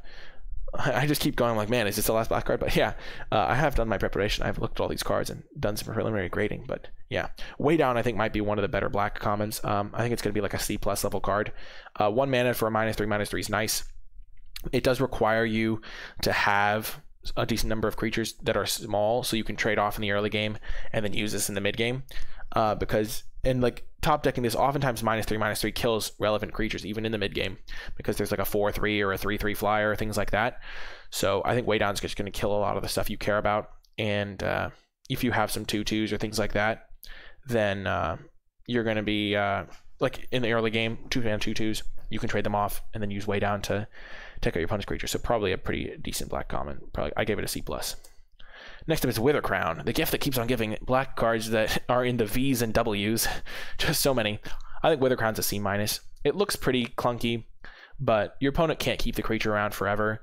Um, even if it's a zero powered creature, there are still more like if, it's, it's mostly good in a defensive deck because if your opponent uh, has like a, a three three, playing Withercrown on it isn't very good because it'll still blank your attack for two every turn or whatever you're attacking for, and so the one life isn't a huge cost because they're still saving damage. But if you're a defensive deck, uh, Withercrown makes their deck uh, creature unable to attack you unless it has like a counter on it, uh, which makes it like a decent defensive tool. So if you're a defensive deck, it's like a card that you're relatively happy to play. It's not great in an aggressive deck a lot of the time, even though the losing of a life is relevant in aggressive decks. The blocker will oftentimes save them more damage, which makes it a little bit weaker. So I think until and then they can sacrifice it once they've got other creatures to stabilize. So I don't think Withercrown is all that good.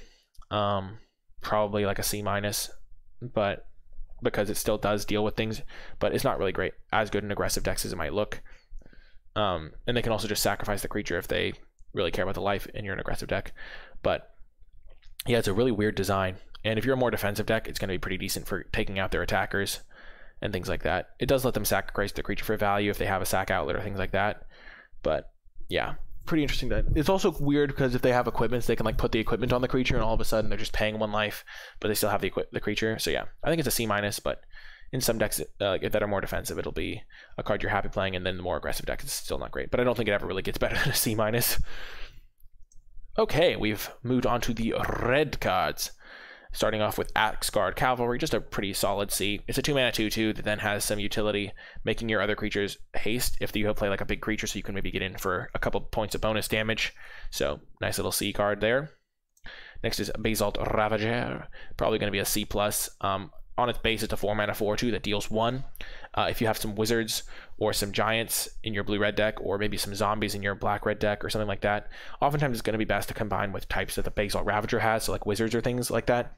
Uh, but if you're doing like 3 damage consistently, it'll be like a B, a B level card in your deck, like a Flametongue Kavu.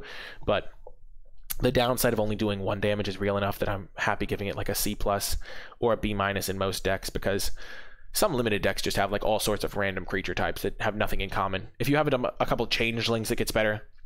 But I think it's like the type of card where it's a C plus baseline, and then it gets like better for every like three creatures you have that share a type. I feel like I'm being too mathematical with that, but it's like it gets better if depending on how focused your deck is on one creature type, and so it can go from like C plus to B, but it'll never be like, and maybe even B plus if you're. It'll never really be a B plus because there's always the good chance that you're not going to have any creatures in play. But it'll go from like C plus to B depending on how many creatures of the type you have. So it's a pretty nice card. I like it a lot. Next is Breakneck Berserker, just a pretty typical C minus, um, maybe a D plus if the um, stat line doesn't line up well with the format, which is hard to say before uh, actually playing with the cards. But uh, three two for three with haste is just an okay card and uh, can contribute to beatdown draws nicely. A defensive deck doesn't really care about it, but a lot of red decks are going to be aggressive most likely. Next is Cinderheart Giant. I gave this card a D, but it is a reasonable card. The only reason I gave it a D is because it's a 7 drop, which means that a lot of red decks aren't going to be interested. But if you're playing like a ramp deck or something like this, this is a totally fine place to put your mana because it'll take out one of your opponent's creatures when it dies, and it's a good blocker. And it's just the fact that it costs 7 is so much because 7 is a huge cost in limited. So it's going to be a D uh, card that you're not going to take for a lot of decks, but the decks that do want it, are maybe going to take it, are maybe going to like be pretty happy when they play it. So like just because a card is a D doesn't necessarily mean that it's a card that's bad per se. It just means that it's a card you're not going to take very highly because no other deck really wants this card, and most red decks aren't going to want this card. So it's like in the deck that wants it, like maybe the one specific red ramp deck. I'm not sure how much that's going to be a thing. Maybe it becomes like a, D, a C minus or something, but most red decks it's a D here. Craven Hulk pretty fun design. I, I really love the flavor. This is like one of my favorite flavor texts. You can like see the giant hiding behind the rock and the goats just standing on the rock. And it's just like abandoned at birth. The giant was raised by goats. Ironically, it grew up to be the most cautious member of the herd, which is just really funny. I think it's going to be if you're an aggressive deck that cares about attacking, it'll be like a C minus because even aggressive decks care about blocking sometimes, especially the turn where your big creature comes down. But if you're a defensive deck, then this card's like a like D because, or even worse because like it probably just gonna be a D at worst maybe because it can still double block with things, but probably not going to be a playable card if you're a deck that really wants to block. But as I said, most red decks are going to care about attacking, so it's probably going to be a C minus overall. Next is Crush the Weak. I actually gave this a C plus because the fact that it can be foretell is actually really relevant with this sort of effect. Uh, because the way it works is you foretell the card, and then at a later date, shall we say, turn five or so, you use Crush the Weak first foretell. So you pay one red mana, deal a bunch of damage to things, and then you can use the extra, the two damage to like use your like one mana deal two to finish something off, or something of that nature. And uh, it's also just a really good tool for red control decks. If you're an aggressive deck, you're not going to want this as much because it'll kill all of your own creatures. So this is, I guess, predicated on the fact that you're more of a controlling red deck, or that you're a uh, like giants deck that's going to have big red creatures or things like that. But it can definitely mop up some tokens, and exiling can be relevant as well. Like against that two mana two one in white that like dies into a one one that sort of thing. But I think it's gonna be like a C plus depending on the format context. Next is Demon Bolt, pretty classic B minus here, three mana deal four, and then it's got additional foretell synergy. Just a fantastic card. It's funny because I feel like I talk less about the cards that are good, but this card is quite good. It might even get up to be a B level card depending on how the four damage interacts with the format. If if four damage kills like everything, then this could easily be a B. But I'm gonna start off with B minus.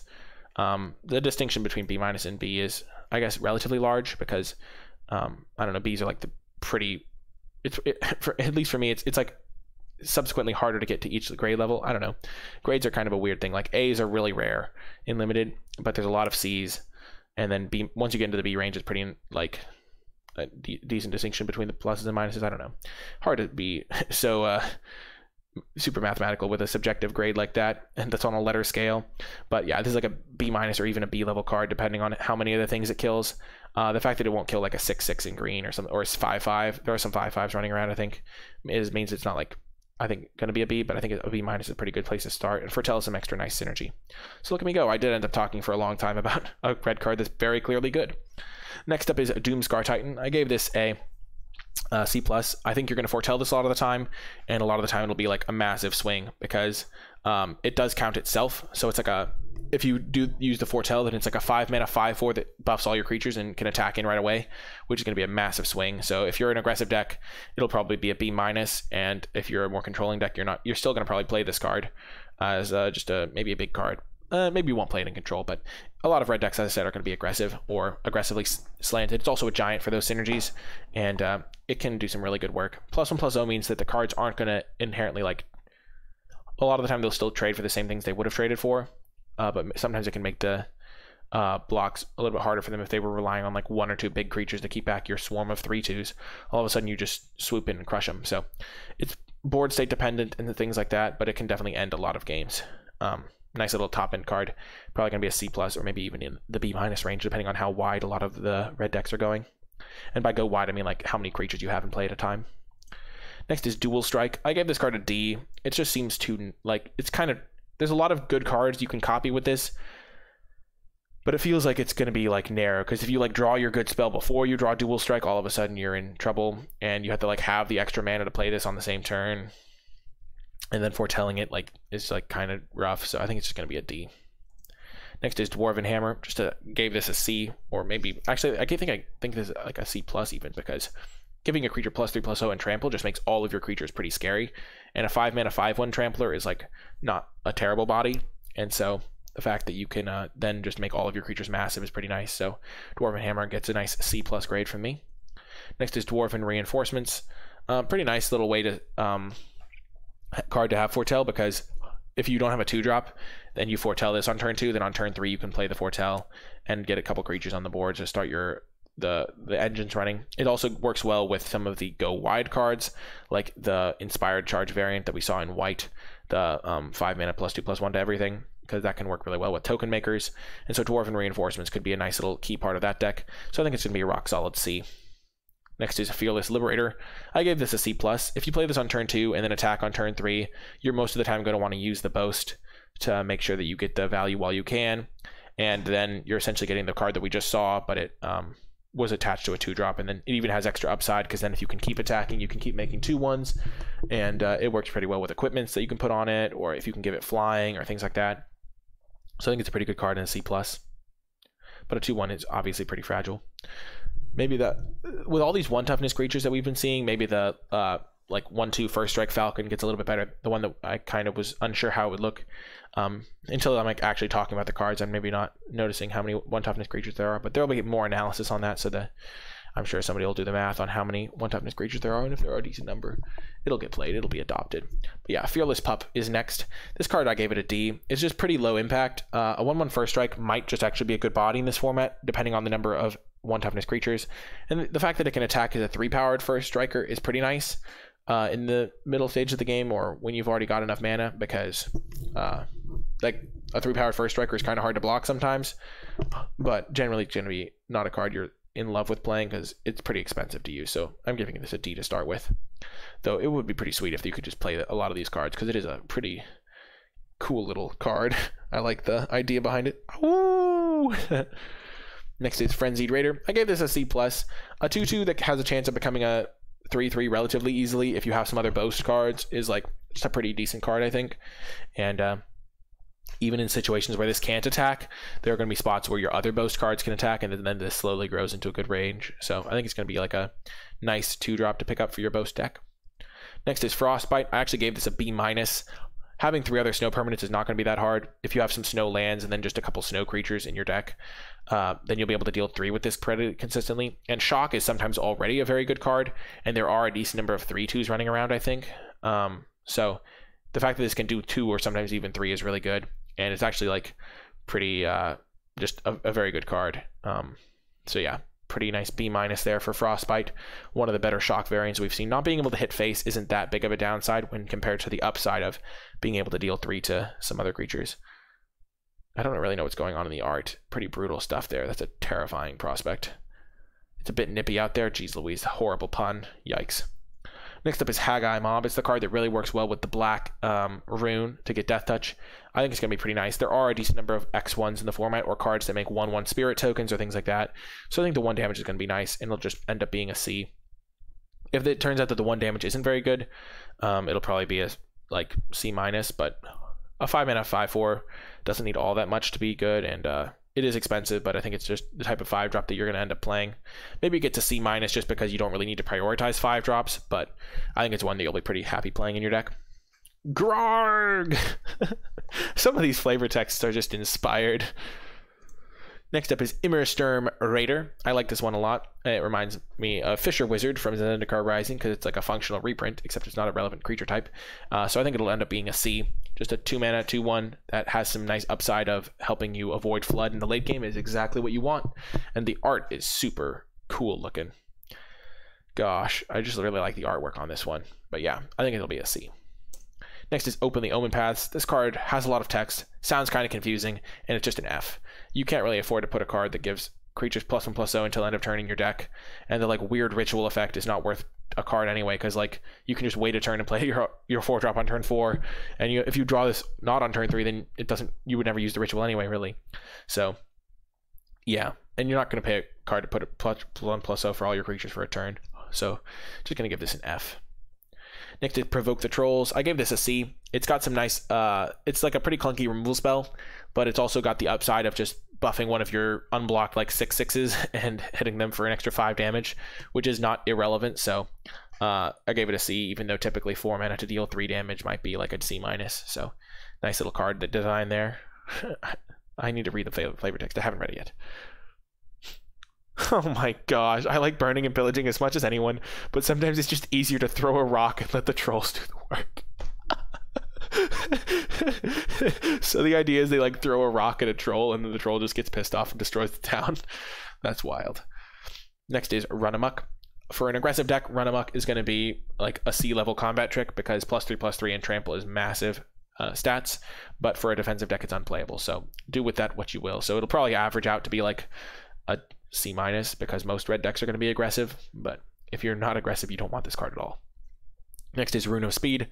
I gave this a C. I think it's again, it's pretty nice to have on an equipment because just being able to able to move the haste around is quite nice but plus one plus O replaces itself is an aura for relevant things can be nice and sometimes you'll get a nice little speed boost out of it. Like you'll hold this in your hand for a little bit and then you'll go like four drop rune of speed attack you for six and your opponent actually what forward powered five attack you for five or something like if you're using the giant coward or something.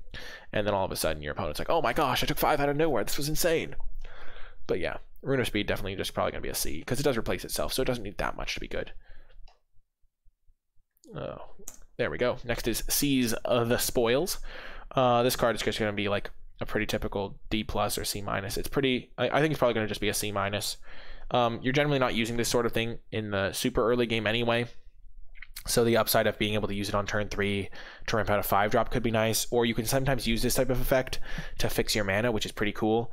Like if you have a deck that really wants to like a red green deck that really wants to splash a blue card or something, and you have like say th- two Seize the Spoils in your deck, you can like almost count that as like a mana source because you, like if you're just going to be careful about your treasure usage, which is really nice. So if it can be used as a splash tool, and I think generally it's going to be like a C C minus level card. Uh, but if you want to splash with it, it can be like a C. Um, and some more aggressive decks aren't going to need this effect as much because they're more like low to the ground and don't want to spin their wheels. So maybe it gets a little worse in those, and it's like a D plus in those decks. Next is Shackles of Treachery. Typically, without sack outlets, it'll be a D level card. Uh, if your opponent has an equipment, like it's a D level card that you generally wouldn't put in your deck unless you were super aggressive. If your opponent has some equipment, you could use this as a sideboard card to like get rid of the equipment.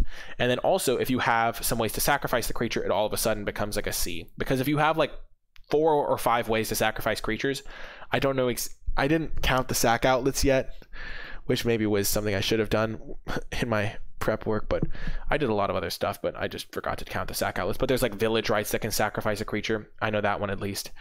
And if there are enough ways to sacrifice creatures, then you can maybe build this into a sacrifice deck.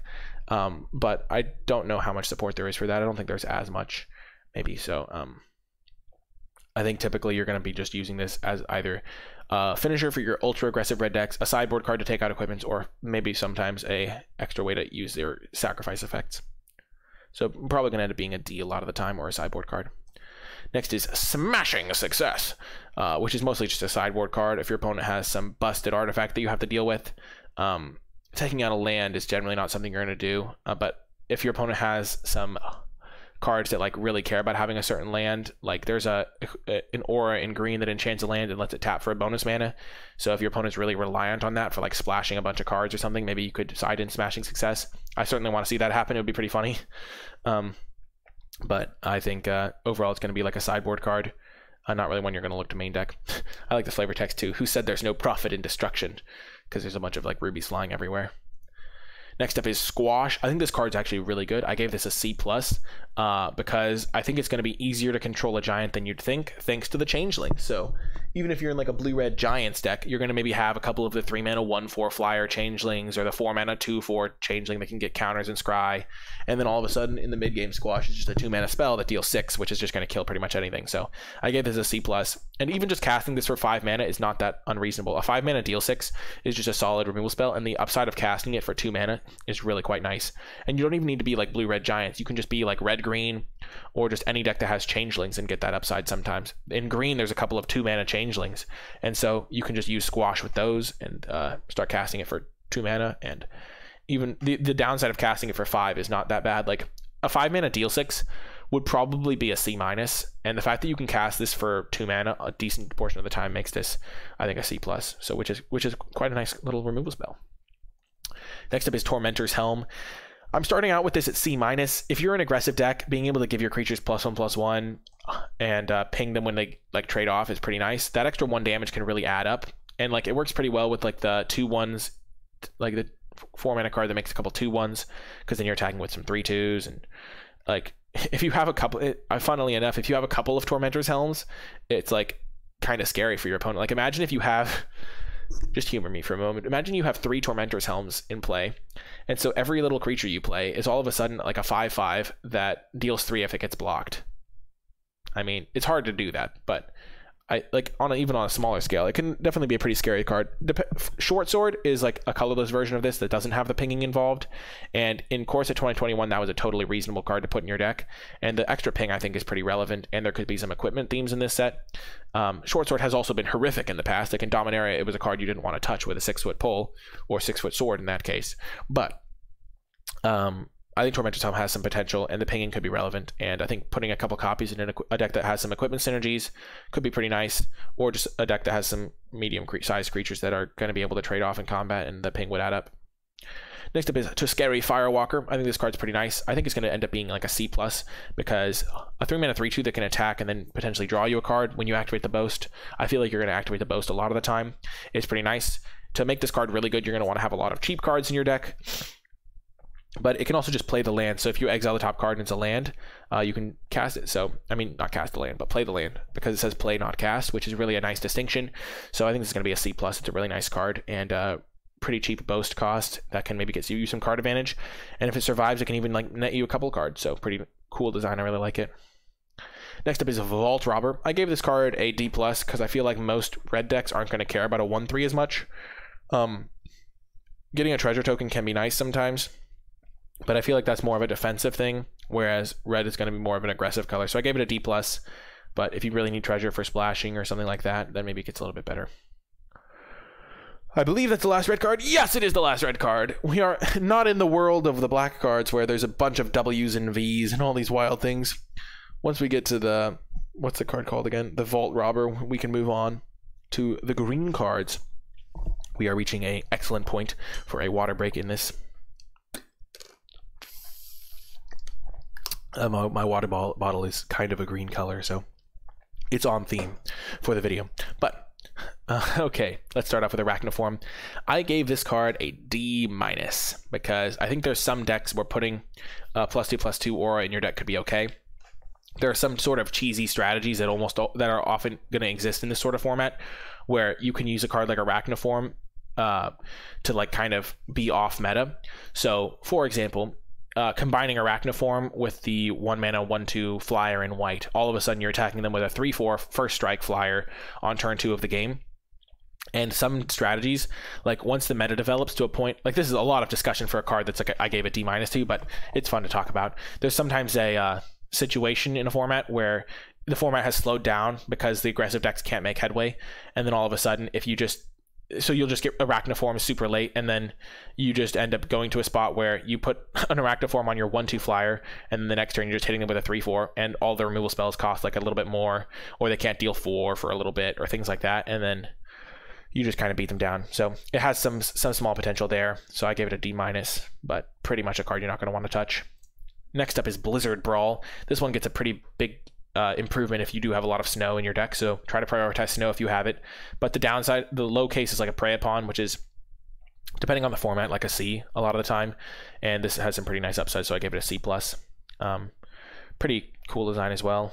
I like the idea that of humans always fighting bears ever since like Tarkir, where there was like Savage Punch. It's just been like a funny thing.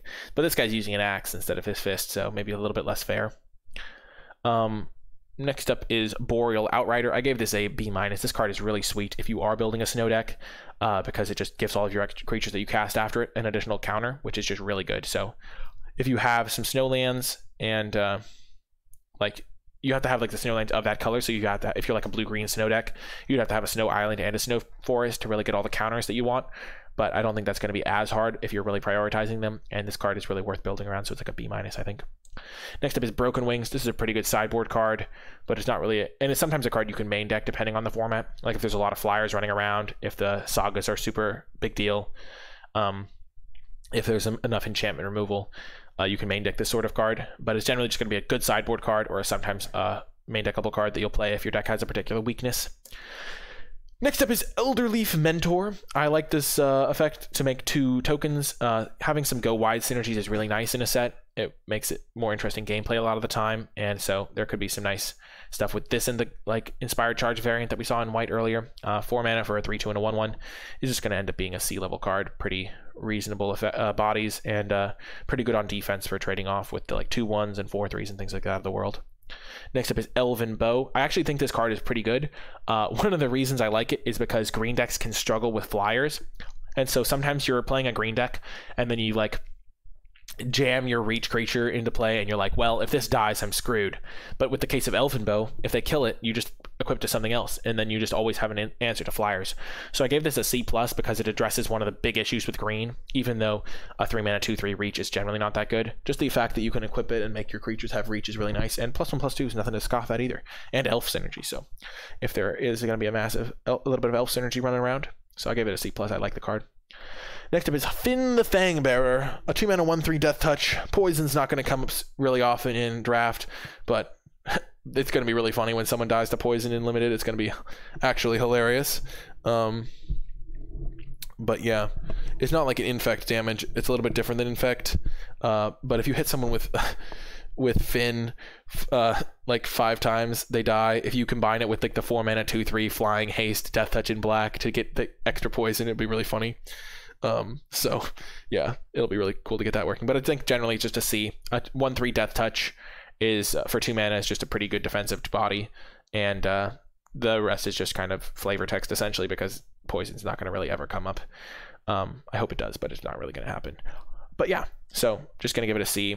Uh, maybe if yeah, I'm just going to see. There's not really not much ifs, ands, or, or buts about it. Next up is Glittering Frost. This is a card I referred to earlier when talking about the land destruction spell. It's pretty a good card for a snow deck because it can make your uh, one another land into a snow, and some of the cards really care about like tapping snow mana specifically. Um, it works really well with another card we're going to look at that can untap a snow land, so you can then get double your mana from that.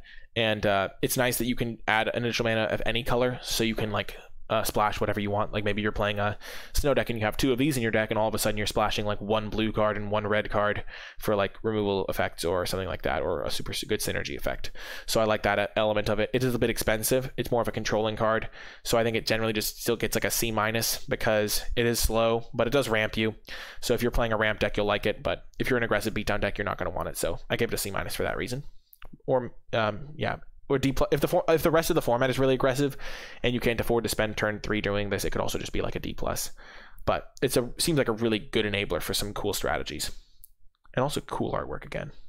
Next up is Gnottvold Recluse. The spiders are finally coming out in force with some actual power.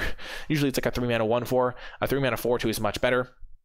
This is a great tool for an aggressive deck, and I think it's just going to be like a C minus level card or a C. Uh, four two is just generally decent stats. Oftentimes it does trade with a two with a two drop, so generally that makes it a C minus. But it could be a, a little bit better if uh, the format lines up well for it. So it's probably a C minus. Next up is Grizzled Outrider, five mana five five. It's an elf. I gave this a C. I could see giving it a little bit lower, but a 5 mana 5 5 is just generally pretty decent stats. Um, and in the past, cards like Colossopede, which were 5 mana 5 5s with no other text, were like generally cards that I was relatively happy to play. They're just solid playables. Uh, I could see it being a C minus, but I think being an elf might be relevant, so I gave it a C, and we'll see how it does. Next is Guardian Gladewalker, another card that I gave a C. This is a pretty key card for changeling type decks or decks that care about creature types. It's one of the changelings I mentioned when I was talking about Squash uh, because if you have this in play, then all of a sudden your squash only costs two mana. Um, the card itself it may, be a little bit weak, but it's like the flexibility of being able to put the counter wherever you want and being a changeling, I think, is enough upside to make this card a C. Next is Horizon Seeker. This is a really cool design as well. They have some super cool designs in this set. I'm so excited to play with these cards. Uh, Horizon Seeker is going to be a C plus, I think. Uh, a three mana three two, it, and then you can attack and draw a card uh, essentially like and you can use it to fix your mana if you are attacking and uh, able to boast with it. You can like get a splash color if you want. I think green decks can often splash maybe potentially. They can often splash maybe potentially. That's like a great statement isn't it? But i think they'll be able to splash if they want to. And uh, horizon seeker is a really good tool for doing that. And if you have like a combat trick to keep it alive then you can even get some card advantage from it. So that's some extra little incentive there too. So if you for example have like the plus one plus three and flying card from white and so you go like play your Horizon Seeker on turn three. Then on turn four, you attack, use the boast ability. They block. You give it plus one, plus three. You kill their creature. You get that extra land. And the next turn, you can kind of get another land. That's just really good. So Horizon Seeker, I think, is going to be really sweet. I gave it a C plus. Next is Icehide Troll, another card that I gave a C plus to on the condition that you have enough snowlands, because Indestructible is a messed up mechanic. It really makes uh, attacking into it tough, because what you do is you block, and then in response, you uh, use the ability and so all of a sudden you're blocking with a 4-3 indestructible. You can also use it after attacking. You don't have to like tap it as part of the cost. So you can go like attack they block you give it plus 2 plus 0 and indestructible. What it's not good for what like the reason that the tap thing is there is because if your opponent uses removal on it uh, before combat you're not going to be also able to block with it so they can like tap it for that reason. But indestructible should not be underestimated. Two mana is not that much to hold up in the mid to late game uh, for to have an indestructible creature whenever you want. And uh, if you have enough snowlands to facilitate this, this is going to be a good card. So I gave it a C plus, um, especially because oftentimes by the time you're going to be able to activate this, you'll have drawn deep enough into your deck to find the two snowlands you need.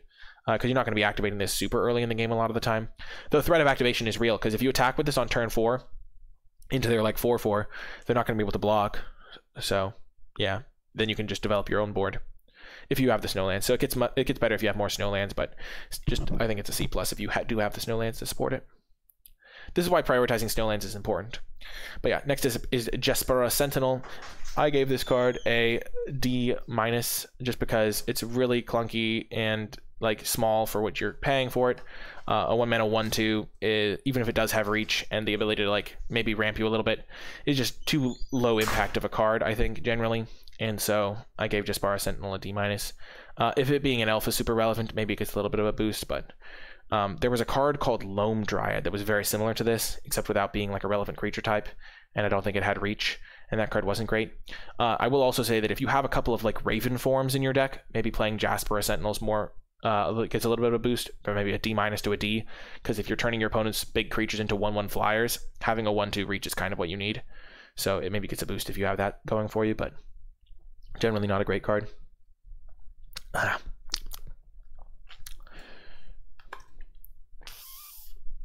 I had something in my throat. Sorry about that.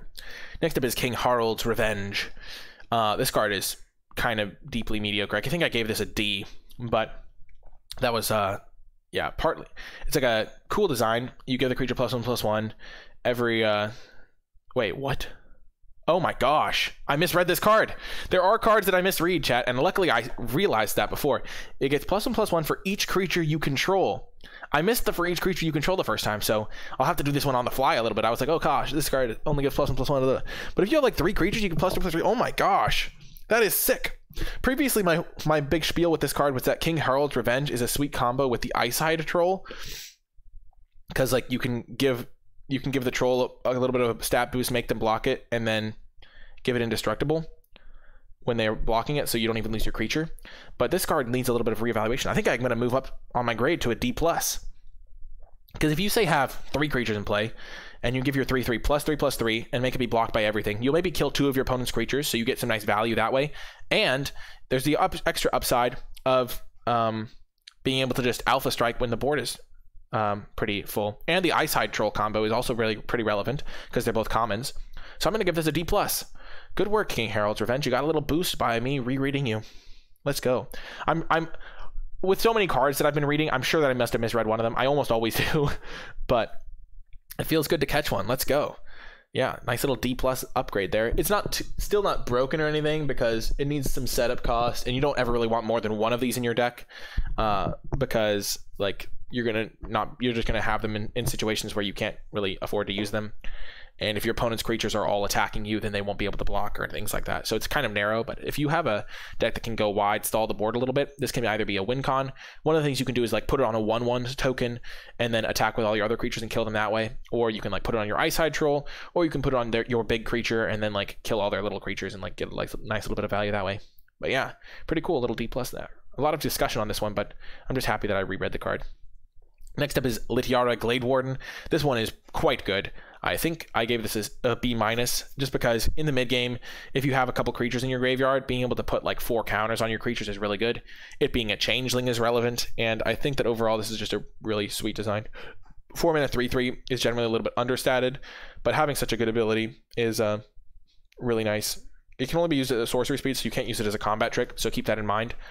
But you can uh, like use this pretty effectively to like grow your creatures. I think. So I gave this a B minus. Maybe it ends up being a C plus because you can't like hold up your mana and then do it on their end step.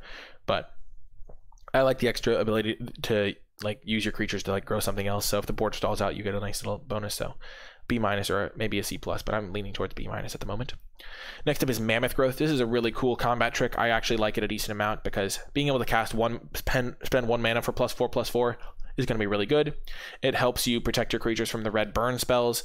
Uh, it also helps you like win combat with some of your boast creatures because maybe you pay boast to get a good ability, like the one where you can get a land from your deck, the Horizon Seeker, whatever that card's called, and uh, you like use the boast cost, and then they block it, and all of a sudden you can use your foretelled plus four plus four to like win that combat. So having the ability to cast it for cheaper is really nice. And then three mana for plus four plus four in a pinch isn't that bad either. So I think I gave this uh, a C or a C minus. Uh, eh, let's see. What should I give it? I think we should give it a C. I think it's going to be a pretty decent combat trick. You're going to be pretty happy to play one copy in your deck, and so sub, like the first copy is maybe a C, and then a subsequent copy is a C minus or something. But also just the fact that your foretell card, I think diverse foretell cards is going to be a good thing to have. So if you have like three different foretell cards in your deck, it's better than having three of the same one potentially, unless they're all super good. But unless it's all like the best foretell spell or something. But like having some diverse ones so your opponent doesn't know what to play around is kind of nice. And so the fact that this is like a nice little different angle of attack for foretell is nice. So I think the first copy is going to be like a C. Next up is Masked Vandal. This is the other two mana changeling I was talking about when I was referring to Squash. Uh, this card's really good. Uh, there's going to be a lot of random so- like enchantments running around because of sagas, and those are generally going to be coming out in the mid game when you'll have a creature in your graveyard to use Masked Vandal. Uh, sure, they'll get the first chapter, but stopping the other chapters is still nice. Uh, there's also some enchant removal in blue and white, and uh, overall, and there's also some equipment. So I think Masked Vandal is going to be quite good. It might even just be a C plus because of all the stuff running around. Um, it is a little bit hard to use and it's a little bit clunky um, if you don't have creatures in your graveyard. But I think I'm going to start off with like C plus for Masked Vandal, just because being able to blow up their thing, even if it is attached to a one three, is still pretty nice. And the fact that it's a changeling is nice as well.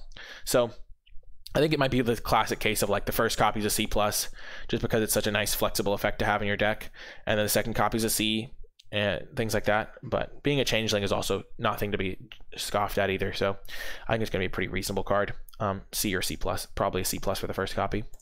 Next up is Path to the World Tree. This was a really interesting design as well. I, I wanted to give it a C just because I think that there could be a five color snow deck. There's the um, what's the card? I don't remember all the card names. I'm sorry. I apologize. I forgot the card names. But there's the three mana enchantment that you can make it land into a snow land and then tap it and get whatever colors you want. And so maybe there is some, and there's the Horizon Seeker card uh, that can search up lands. So maybe there is support for a five color deck. Uh, I want it to be true. So if there is a five color deck, this is going to be a nice payoff for it. It's a really sweet card.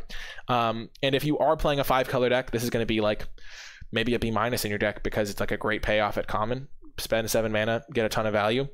Even if they're all little incremental things, you uh, get a ton of value from this, and you get to get the land as well. So it's like a bunch of value. So it's like a B minus if you there's a, if you're in a five color deck. But other than that, it's like a D. It, it's like a D level card if you want to get a land to splash. So like if you're playing a like red green deck and trying to splash a black card, then Path to the World Tree being able to be like two mana to go grab your swamp is like decent. So you, maybe you'll play it as like a D level card then. Uh, but if you're playing a five color deck, it gets to be like a B minus. So keep those things in mind. It's pretty much a, a build around card. This is where the build around asterisk really comes into play, even though it's not unplayable outside of a five color deck. Next up is a Ravenous Lindworm. I think this is going to be a C level card. It's pretty much a Honey Mammoth reprint from Ikoria, and Honey Mammoth really overperformed. Um, that was maybe potentially format dependent though, so I'm not going to be like over the moon about this card, but I think a six mana six six that gains you four life has some history, and I'm pretty excited to play this card. It's a really cool design, and I'm going to start with it at a C level card because it's kind of what you want out of a six drop. It like get, gains you some life, so even if they kill it, you get uh, a nice little benefit. And like if you jam multiple of these in a row, your opponent's in real trouble. So it's probably going to be a C if you're like a ramp deck, and then if you're more like low to the ground green deck, it's like a C minus that you're not super thrilled to play. But it's going to be a pretty nice card for the more controlling ramping green deck, so I'm going to start with it at a C. Next up is Rootless Yew, the perfect card to go with your Ravenous Lindworm. uh, I gave this a B plus. If you're playing a deck that has some big creatures in it, uh, being able to curve five drop into six drop very consistently is going to be nice. And so I gave this a C plus because of that. Also, a five mana five four is not just like not a bad body on its own. So even if you don't have all that many targets and you maybe drew your target before you cast this, it's not the end of the world. Um, but a f- five mana five four that draws a card is great, so it's just like a C plus.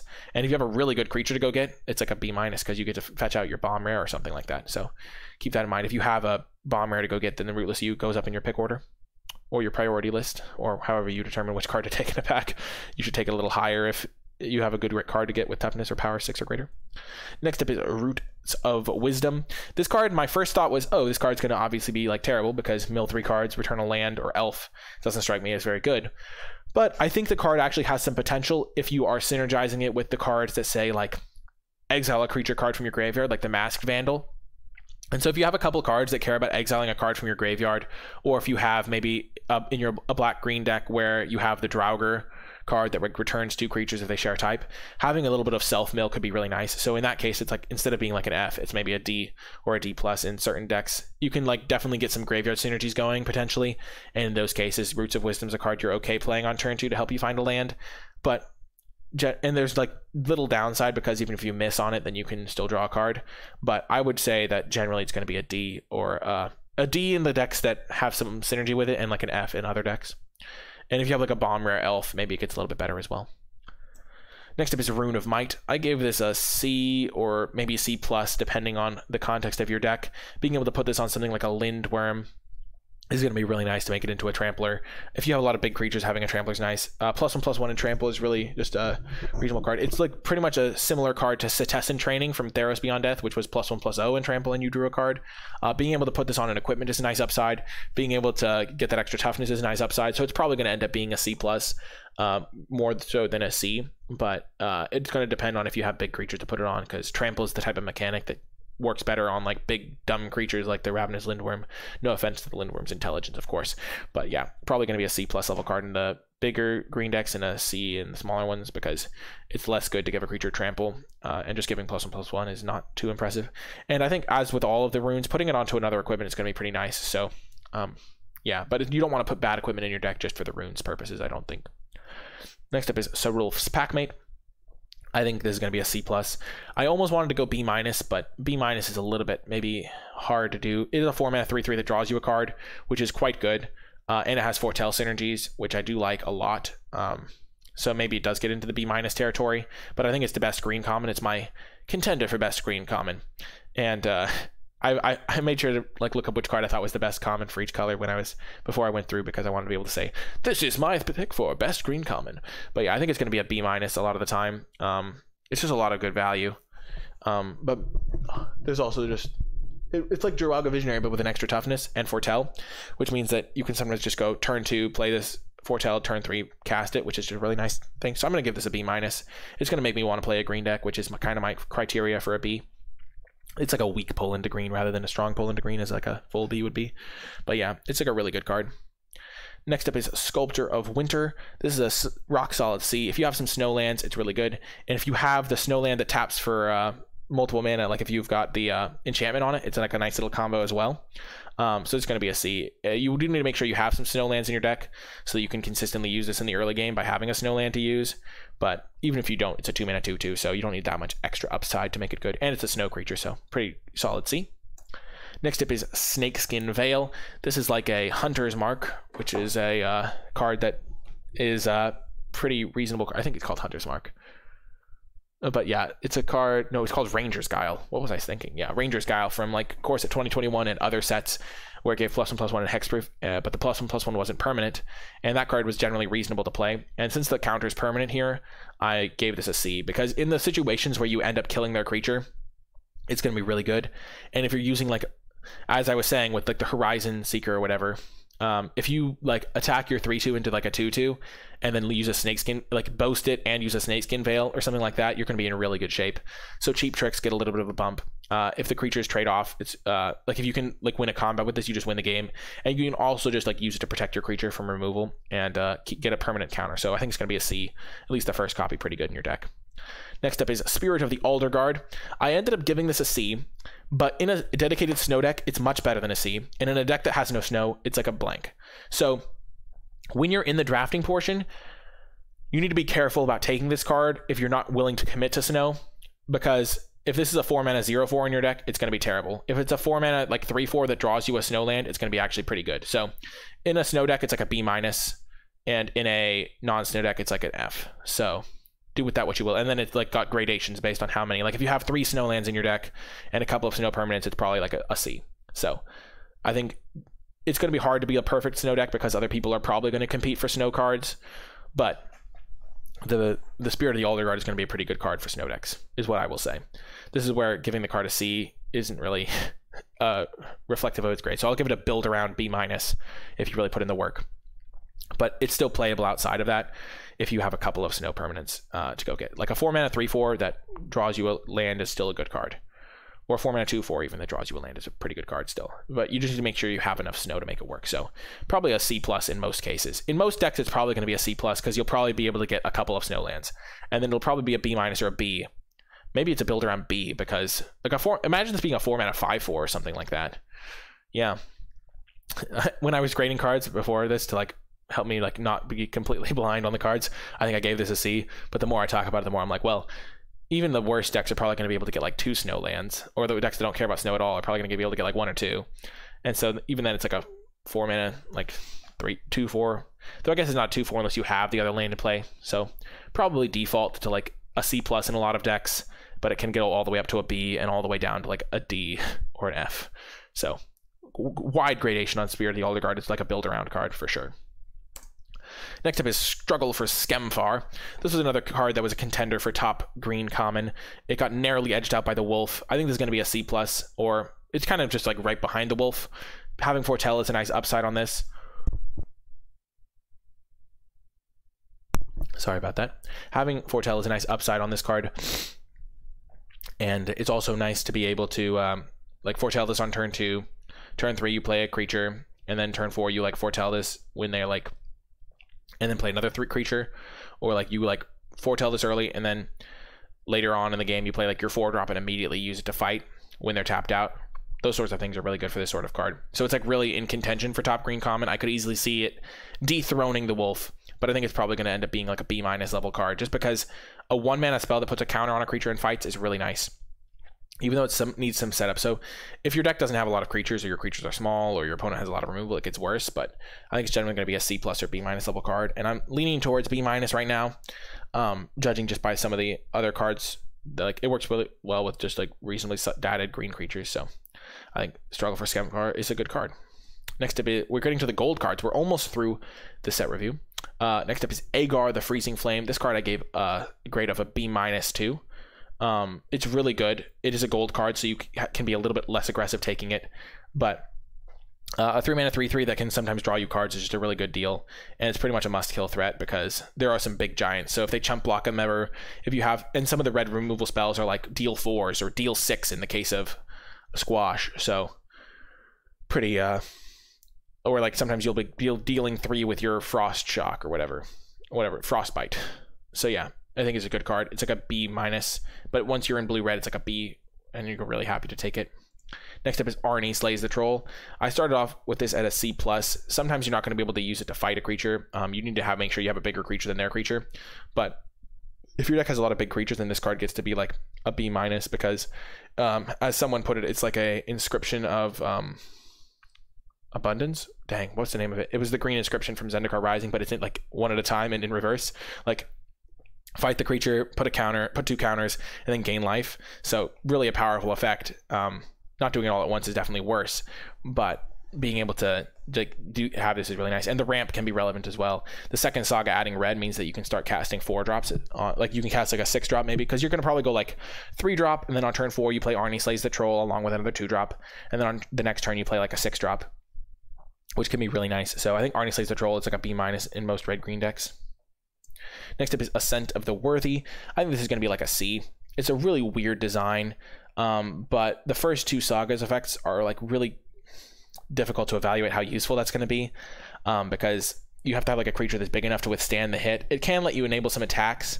So if you have like a 4 4 and they have a 3 3, I, I don't even know how it enables it. Like sometimes, like if you have a creature you don't mind like sacrificing for the cause almost, then you can attack like a bunch of three threes into their three threes, and then like have a two two that you leave behind to die. So that can be really good. So if you have like that sort of board state, it's like better than a C. But there's also some board states where you're really behind. I guess it's decent when you're behind too, because you can make like a massive block on a creature. The real downside is that if your opponent like bounces the creature that you've designated, then it can really blow you out. So that's and they see it coming from a mile away because of the saga. So that's the downside. It's probably going to be a C plus though, because getting a creature back is still pretty good too. Um, and yeah, once the board is stalled, it's pretty reasonable. This is one of the hardest cards to evaluate. I'm going to give it a C plus though. I think it has some upside potential. Next up is Binding of the Old Gods. I gave this card um, a B, a B level. I think it's going to be a B because um, part of the upside is that you can um, bounce it back to your hand as a saga. You can also potentially like yeah, get just a lot of value. You kill a creature, get a land, and then giving your creatures death touch is far from irrelevant. So, especially if you're like a go wide deck or you have some token stuff or some small elves running around. So, just like a B level card, really good.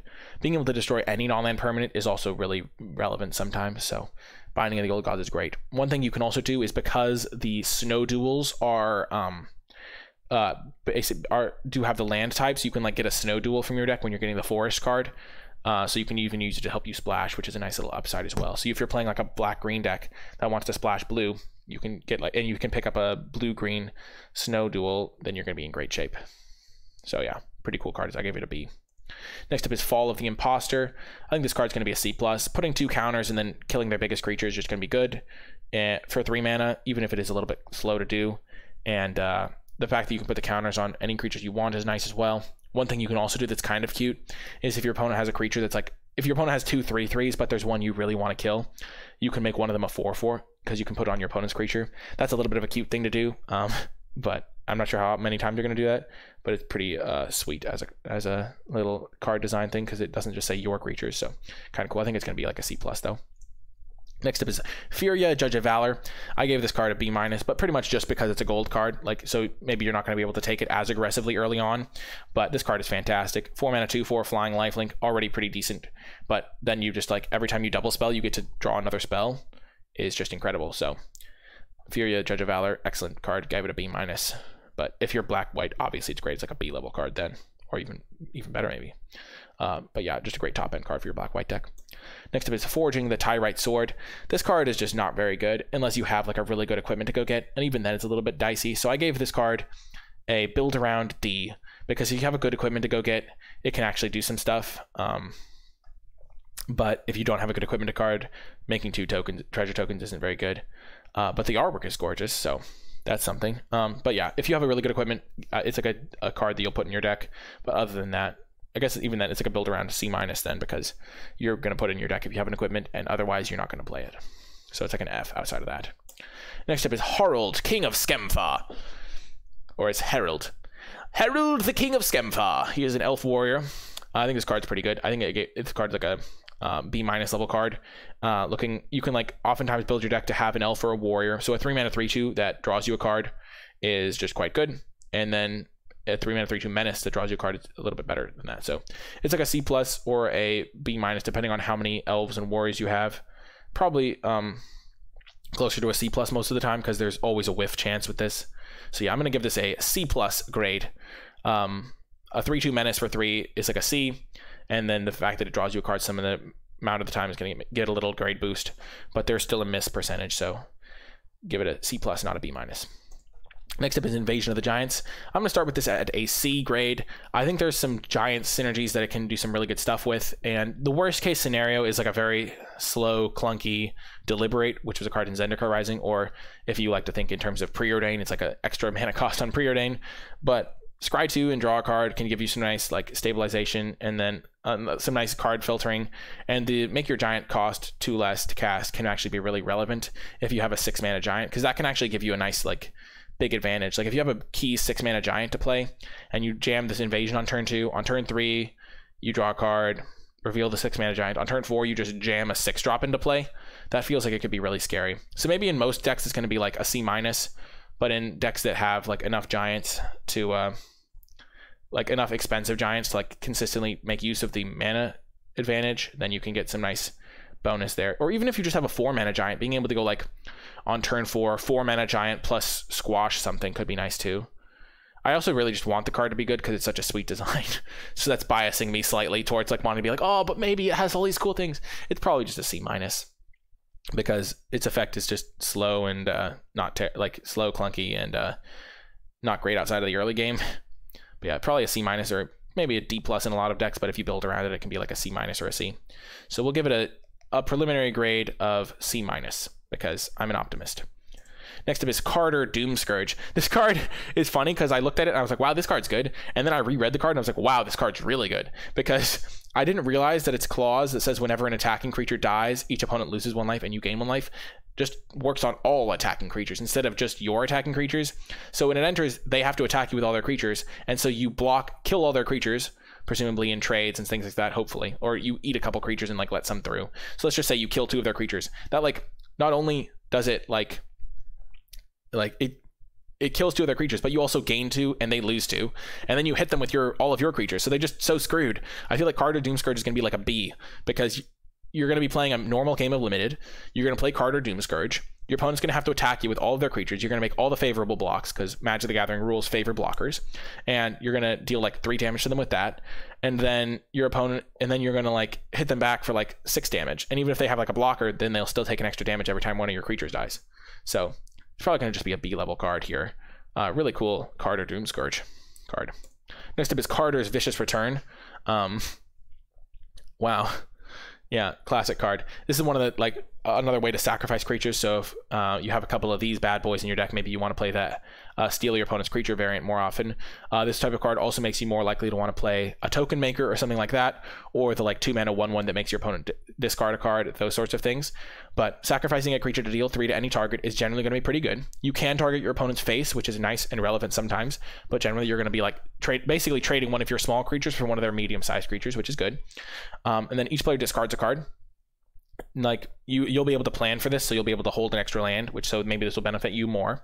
And then returning a creature card from your graveyard to the battlefield it gets a counter in haste. It could be really nice. So especially if you go out on a limb and like discard a big creature so it'll gain haste that could be really nice. But presuming that you have four mana spent on this then on turn five you'll like play a five drop so you won't really be necessarily having too many big creatures. But even just getting back a three three making it into a four four haste is pretty nice the thing with this card is it's never like explicitly giving you card advantage, but you get like a slight edge every time, and so you're generally going to be pretty happy with this card. I think this card is going to be a, a B minus level card if you have some sacrifice fodder.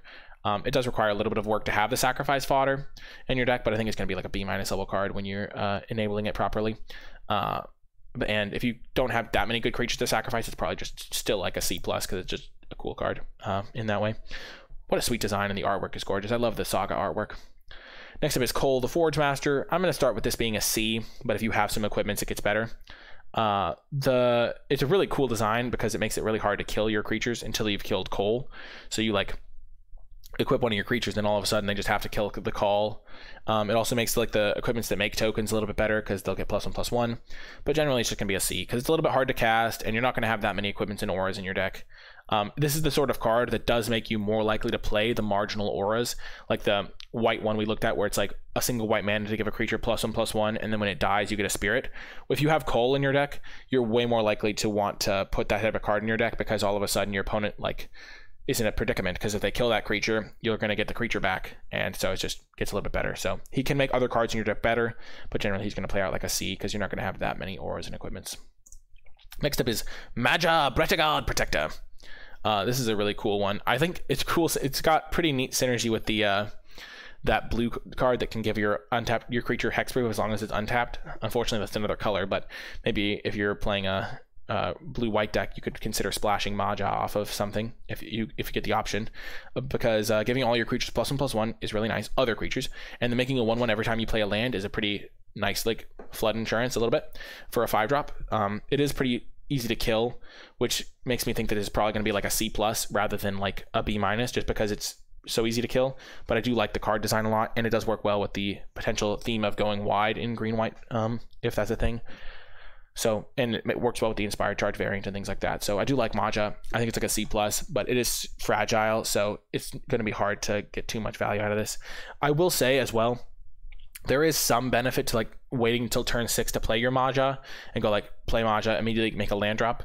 But I wouldn't like worry about it too much because if they kill your Maja, having a one one's not that relevant. Uh, and if you don't have anything else you're doing, then it's better just get into play. I think because then you can maybe like play your land drop and do something on your sixth turn as well. But yeah, Maja's a pretty cool design. I think a C plus, pretty good grade. Next up is Moritte of the Frost. This is one of those classic "don't let the gold card fool you" moments. Um, I gave this card. I think this card is just going to be a C. The reason being, it's a little bit hard to get um, too much, like to be like. It's only as good as your best creature or your best saga or whatever. And a lot of the times, those cards are going to cost less than five mana because you are playing them before you play your Moritte. So if you want to curve into this, you're going like four drop into Moritte. That's the best case scenario. So you're getting a four drop with an extra two counters, which is good. Uh, but if you have like only a three drop in play, maybe they kill your killed your four drop or you didn't, or you used removal on turn four, all of a sudden you're more, it's copying like a three three, and it's just getting two counters. So I think Moritte's going to be a C. It's a card that's pretty reasonable to play, um, and sometimes you'll get like crazy value by like copying your six six worm and making it an eight eight. But a lot of the time, it's going to be just a medium card. Like maybe you'll copy a two two and it'll be a four four or things like that. So, and being a changeling can be relevant as well. But overall, Moritte I think is going to be a C. Don't be fooled by gold cards, folks. Even if I did get fooled by Invasion of Giants and gave it a grade that's probably half a grade too high. Next up is Narfi, Betrayer King. Uh, this card is fantastic. I gave this just a B if you can't if you, you're going to want to really prioritize snow if you have this because giving all of your snow creatures plus one plus one is quite nice. There's also a decent number of zombies in black so giving all of those plus one plus one is quite nice. And then just returning it over and over and over to the battlefield is just incredible. Even if it does come into play tapped you can just use this on their end step. Um, you're going to want to prioritize the snowlands but this card is fantastic. Absolute house of a limited card and i just give this a solid b. Just absolute beast. It maybe is even a B plus if you have a lot of snow creatures because it's like an anthem on a repeatable creature that's like impossible to kill. The fact that blue has like the like even if they the thing is is the only way that this backfires for you is if they have the exile removal spell in black pretty much because then you can't get it back. But if you have um like even if they put an aura on it, all of your snow creatures are still getting plus one plus one, which is pretty relevant because there's a decent number of snow creatures and there's a decent number of zombies. So it's still an anthem, even if they use even if it can't come back as a four three over and over. So this is just a rock solid B. It might even be a B plus. Um, maybe just the best uncommon to have in your deck. Um, it is predicated on having enough snow lands to bring it back over and over. But if you have a Narfi, you're going to be taking snowlands very highly. So, um, yeah, Narfi's fantastic.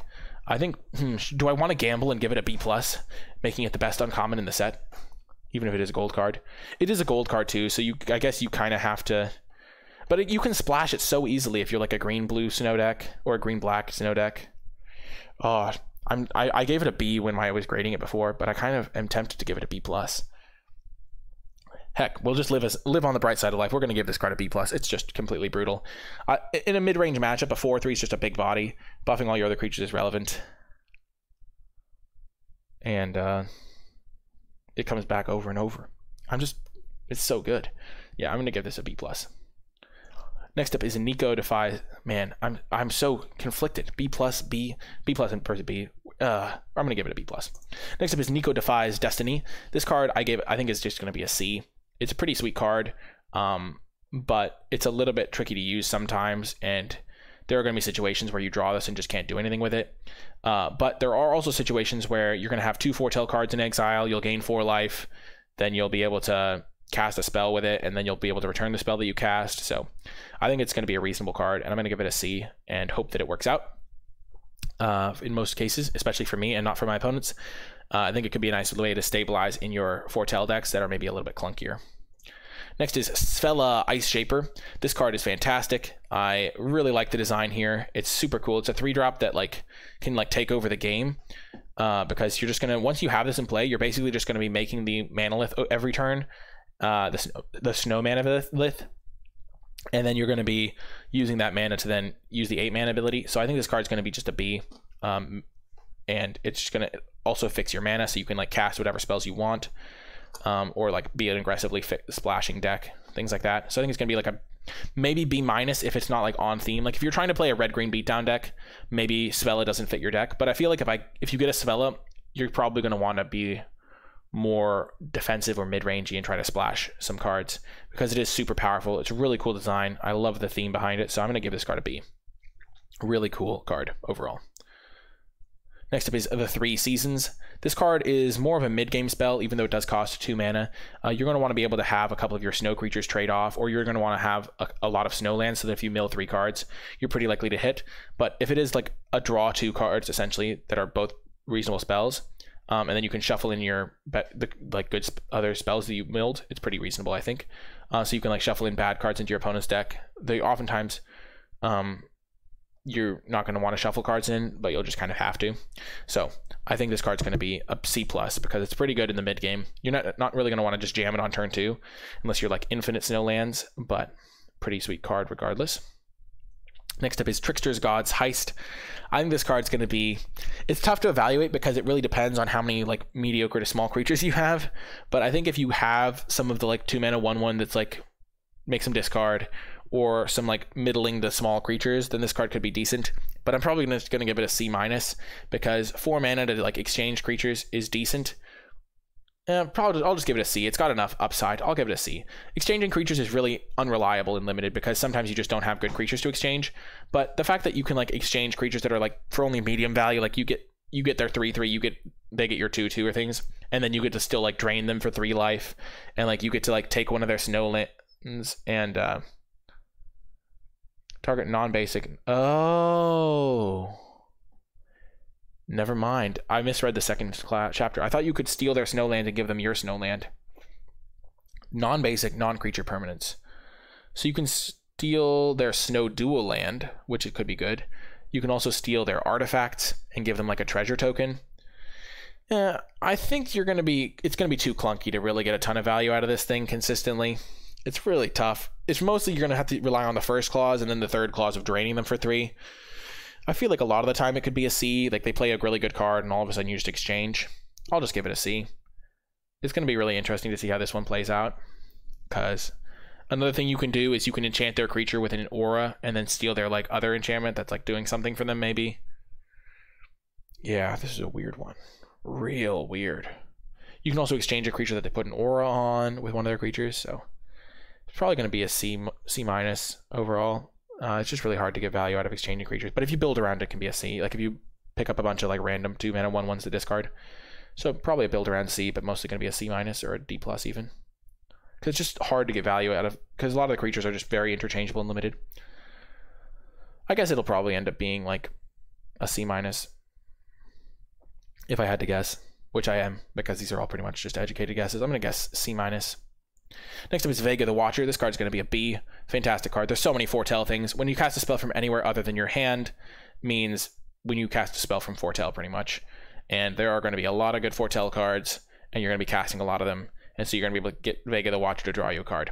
I will say, if you have a foretell card that only costs like one mana to cast, waiting on your Vega until you can draw a card immediately is probably advisable so you can get that value.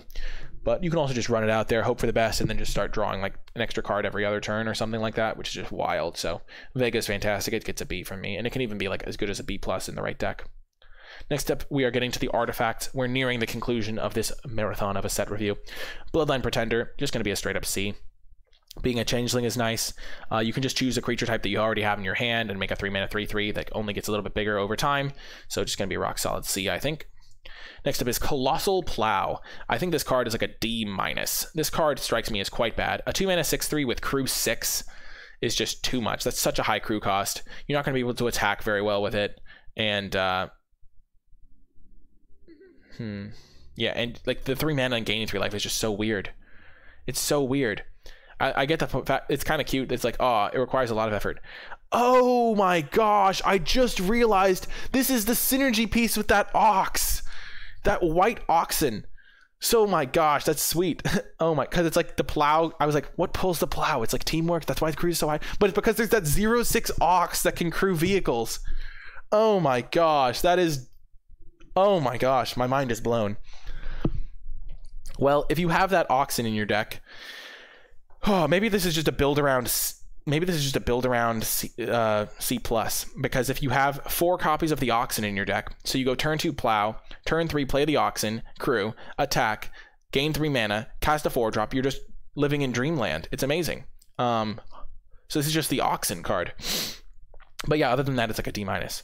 But I'm gonna be excited to see if that happens in any of my matches. It's probably gonna happen against me. My opponent's just gonna like destroy me with colossal plow but it'll be really funny when it happens. So, Colossal Plow, I get the joke now. Let's go. And now all of you get the joke as well. So, yeah, I was like looking at this card. I was like, what the heck is this card? I don't understand. Why is it crew six? That's so much. But it's because the Ox is a zero six that can crew things. So, yeah, I'm going to give this a, like a D minus. But if you're building the build around Ox deck, then it's going to be like a C plus awesome God card because you'll have like four Oxen, hopefully. But yeah, don't really put this card in most of your decks, or really any of your decks unless you're trying to mess around. And maybe it'll be good. Man, I hope it's good. That'd be really cool. Next up is Funeral Longboat. I gave this card a C plus. It's like a two mana three three. Crew one is really easy to facilitate, and it's just a massive stat line. Um, it's pretty good for defense for being on defense too because your opponent won't be able to use sorcery speed removal a lot of the time uh, to deal with the 3-3 because you'll just crew it mid-combat. It's also cool because it can attack and defend. You like crew it with your small creature, attack for 3, then you play another creature that you can crew it. Uh, it's also nice because if you have a creature and a longboat, you know you're going to be able to block because if they go for removal on your creature, you can crew a longboat in response, so you're going to have a blocker around. Uh, Vigilance is actually pretty nice on this. A 2 mana 3-3 vehicle is kind of small, but it's got a small crew cost, which makes it a little bit more reasonable. So I think it's probably going to end up being a C plus, uh, just because it's maybe not going to play out as a C plus. Like maybe it'll play out more like a C. But the fact that you can always play this in your deck means that you can take this relatively early in a draft and feel pretty confident about it and be like okay with it. So probably going to be like a C plus level card. Um, but yeah.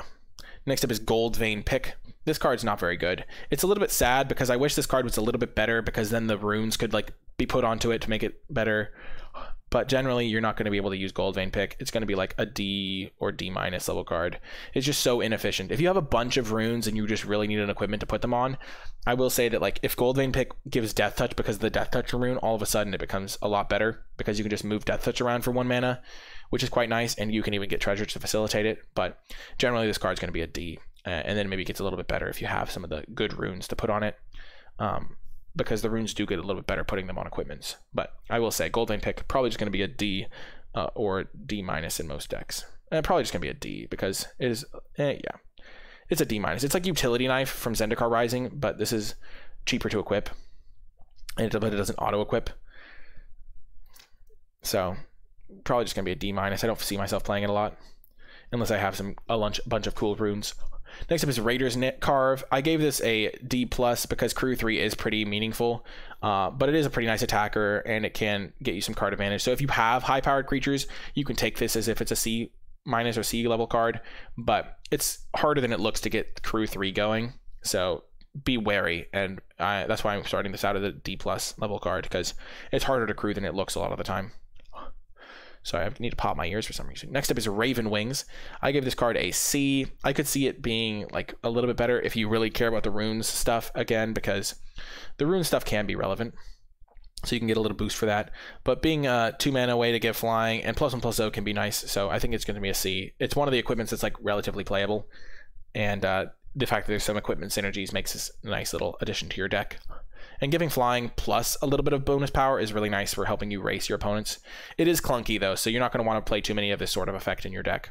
Uh, it's just nice little to give your deck some reach or make your like green, big green creature have flying or something like that. Next up is Replicating Ring. I gave this a C as well, maybe a C minus if you don't care about the snow element. But the fact that being a snow permanent can be beneficial means this is going to be nice. And if you're fixing, if you're playing a deck that doesn't care about splashing, then this is just going to be like a D plus.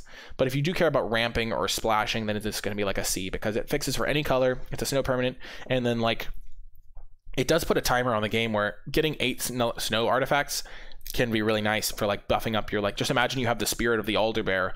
All of a sudden, it's like um a uh, nine powered creature just because of your replicating rings, which is quite nice.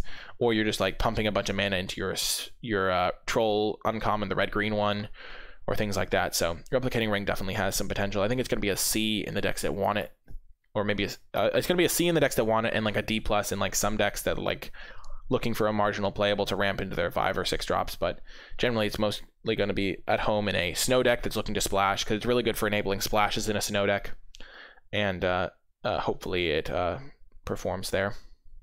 It'll be a C level card in that deck. Uh, um, because it gives you a free source of a splash color. Next up is Runed Crown. This is pretty cute with the the runes, but it's not very good overall um, because you need to have a couple of runes first of all to make this work. Because if you draw your rune first, the crown doesn't do anything. Um, but it does give you like if you do have a rune, then all of a sudden your runed crown is like a three mana for like a plus one plus one in flying rune, and it draws you a card. So it's not like un- not terrible that way. Um, but yeah, it's just a rune card. I was making sure it wasn't like any number of runes because that'd be pretty wild, or like multiple runes. But yeah, generally just gonna be a little bit too clunky. I think it's gonna end up being a D because like drawing like it's essentially like drawing another rune, but the rune will then cost an extra mana and has to yeah. I just don't think it's very good. And the equip cost is two, which is a little bit expensive, and it only gets plus one plus one. So yeah, I'm gonna give this a, a C. Uh, I mean a, a D for Runed Crown. Sometimes you'll want it, I guess, if you have a couple of really good runes, maybe. Next up is Scorn Effigy. I'm going to give this a C. I think it has some nice synergy with Foretell stuff because you can just get a like nice 2-3 on your turn.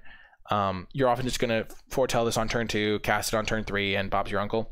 But one of the things I like about it is that it can synergize with the black white cast multiple spells in a turn archetype, where you're going to be like, oh, I'm going to foretell this, and then I'm going to cast it, and get a nice little bit of uh, value by having a zero mana spell. So in those decks, if you don't have a compelling reason to cast it, you might want to save it so you can get the cast second spell trigger from a card for zero, which is really nice. Uh, so Scorn Effigy, I'm going to give it a C, but it does have that extra synergy in those decks. And in decks that don't really care about that, it's not really a card you're in love with, but it still has Foretell, and there's some Foretell synergy, so I think it's going to be a C. Next up is Weathered Runestone. This card is a constructed plant, uh, and so it's just an F in limited not really the type of card that you're interested in playing or sideboarding in. Okay, doke, we're on to the lands section. We're almost done here. Oh, going to talk about these uncommon lands, and then we're going to talk about the snow lands a little bit. But yeah, Axgard Armory. This card is going to be a C plus. Uh, it's not going to be like if you have an equipment and an aura in your deck, like even if it's the aura that like if it's the, even if you just have the aura that enchants your opponent's creature, then or a couple of those, it's going to be pretty good. But it's a little bit narrower. It costs five mana to search for like a couple of spells, but you might not have both of those spell types. So if you have an equipment and an aura, then this card goes up to B minus level because it's like a land that can eventually draw you two cards, which is quite good. So it's a B minus when you have those, but it's a little bit narrower. So um, if you only have like one type, it's going to be a C plus. Next up is Bretagard Stronghold. Uh, this card is very good. It's pretty cheap to use, um, even though you do sacrifice it. But in the mid game, you like can put counters on a couple creatures, give them get a nice life gain swing. So this is going to be like a B minus. Next up is Gates of Istfell. This is also going to be a B minus. It does cost six mana to use. I'm when I'm saying six mana to use, I'm including the cost of tapping the card. So this, it only technically costs five mana, but then you have to tap this, so that's like six mana essentially. But gaining two and drawing two cards is exactly what you want out of your land in the mid game when you have too many lands. So Gates of Istfell gets a B minus. Um, next up is Gnottvold Slumbermound. This one costs 7 mana to use, but making a 4 4 and destroying your opponent's land can also be pretty relevant. Um, sometimes you might even be able to destroy your opponent's utility land before they can sacrifice it themselves, which could be really nice. And uh, getting a 4 4 is going to be pretty reasonable in the mid stage of the game like that, so I give this a B minus as well, especially because red green might have more ramp than you'd expect uh, or then you would get in a different color combo. Next up is Great Hall of Starnheim. This one's also really cheap to use, only costs 4 mana, and you get a 4-4 white angel creature token with flying. This is the type of card that you might even use before you get to the mid game. Like, if you just have 5 lands in play, uh, and you don't have very many expensive cards in your deck, you could just make a 4-4. So this card's really good. Uh, I think I also give it a B minus because the effect is, uh, I mean, it might even just be a B because it is so cheap to use. So yeah, I think I'm going to give this one a B just because a 4-4 is just a huge impact on the game and it's a really cheap one to use. Next up is Immersturm Skull Cairn. This one gets a C plus.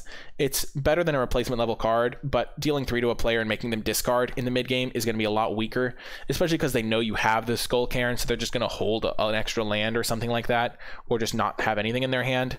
So the Skull Cairn is going to get a C plus, but because it does have some upside, dealing three to them is nice, but it's uh, not going to be like as good as some of the other ones. Next up is Littjara Mirror Lake. This one also gets a uh, B minus. Just it's like a six mana uh, copy a creature and uh, get an extra counter on it, which is really nice. Um, it's like having an extra six drop in your deck almost because you're going to have it in your, in your, land slot, and then eventually in the mid game you're going to copy one of your big creatures and be pretty happy with it. So pretty nice B minus there.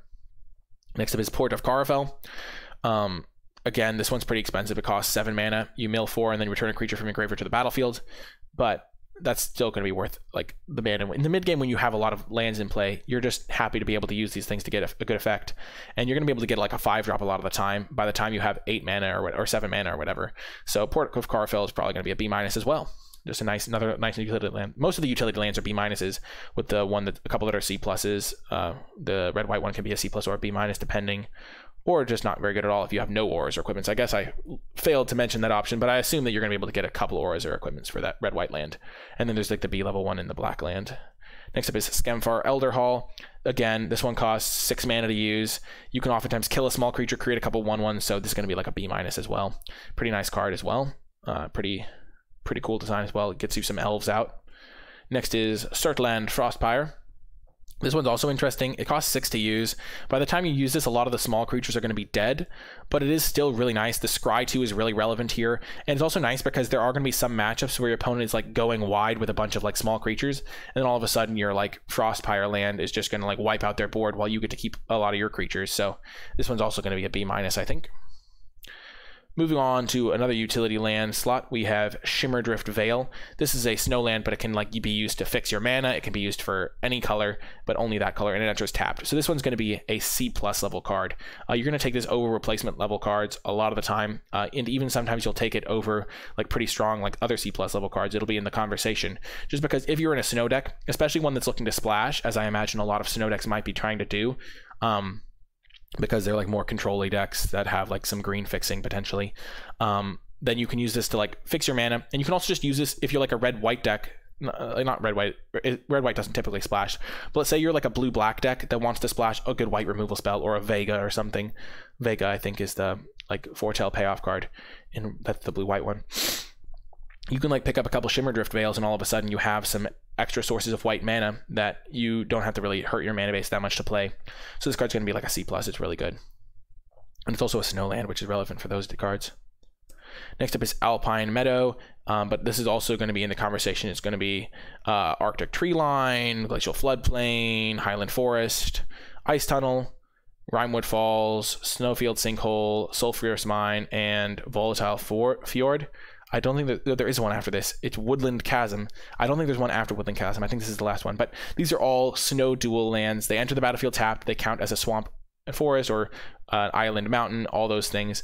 And they are snow lands and they help your mana. So these cards are really quite good. I value these as a C plus as well, just like the card we looked at before the Shimmer Veil, whatever the card, um, because they help fix your mana while also being a snow payoff. Um, the forest ones are also cool because they're cute because they work with that saga we looked at earlier that can go get a forest. But that's less of upside than just the fact that you get a dual land that makes your mana more consistent and also helps you with your snow payoffs. So those ones are very good because they work for two different purposes. They also they build up your snow count while also helping your mana, which is fantastic. So these are going to be valued pretty highly, I think, and you should treat them as like a C plus. You should take them over the replacement level cards. Finally, we're going to be looking at the snow land. So this would be snow covered island. I love this artwork, by the way. Uh, snow covered swamp. All these art- artworks are great. But yeah, snow covered swamp, snow covered mountain, snow covered forest. Look at the intricacy of the branches there. And snow covered plains. Um, look at it, it matches the background of this slide.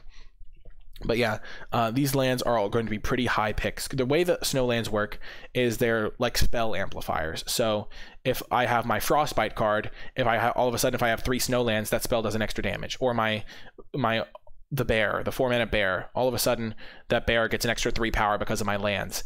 And so you can treat these snow lands as if they're actual spells. So you should, instead of treating them as like a blank or like, oh, that's cute, they're, they're in a snow plane, you should actually treat them as like sea level spells. So you should, they should be actively in the conversation in your mind over like a sea level card because it's like, well, if your deck is going to be making it to 23 playables anyway, like it's better to have a like three like five snowlands in your deck than five cards on the bench that you can't play.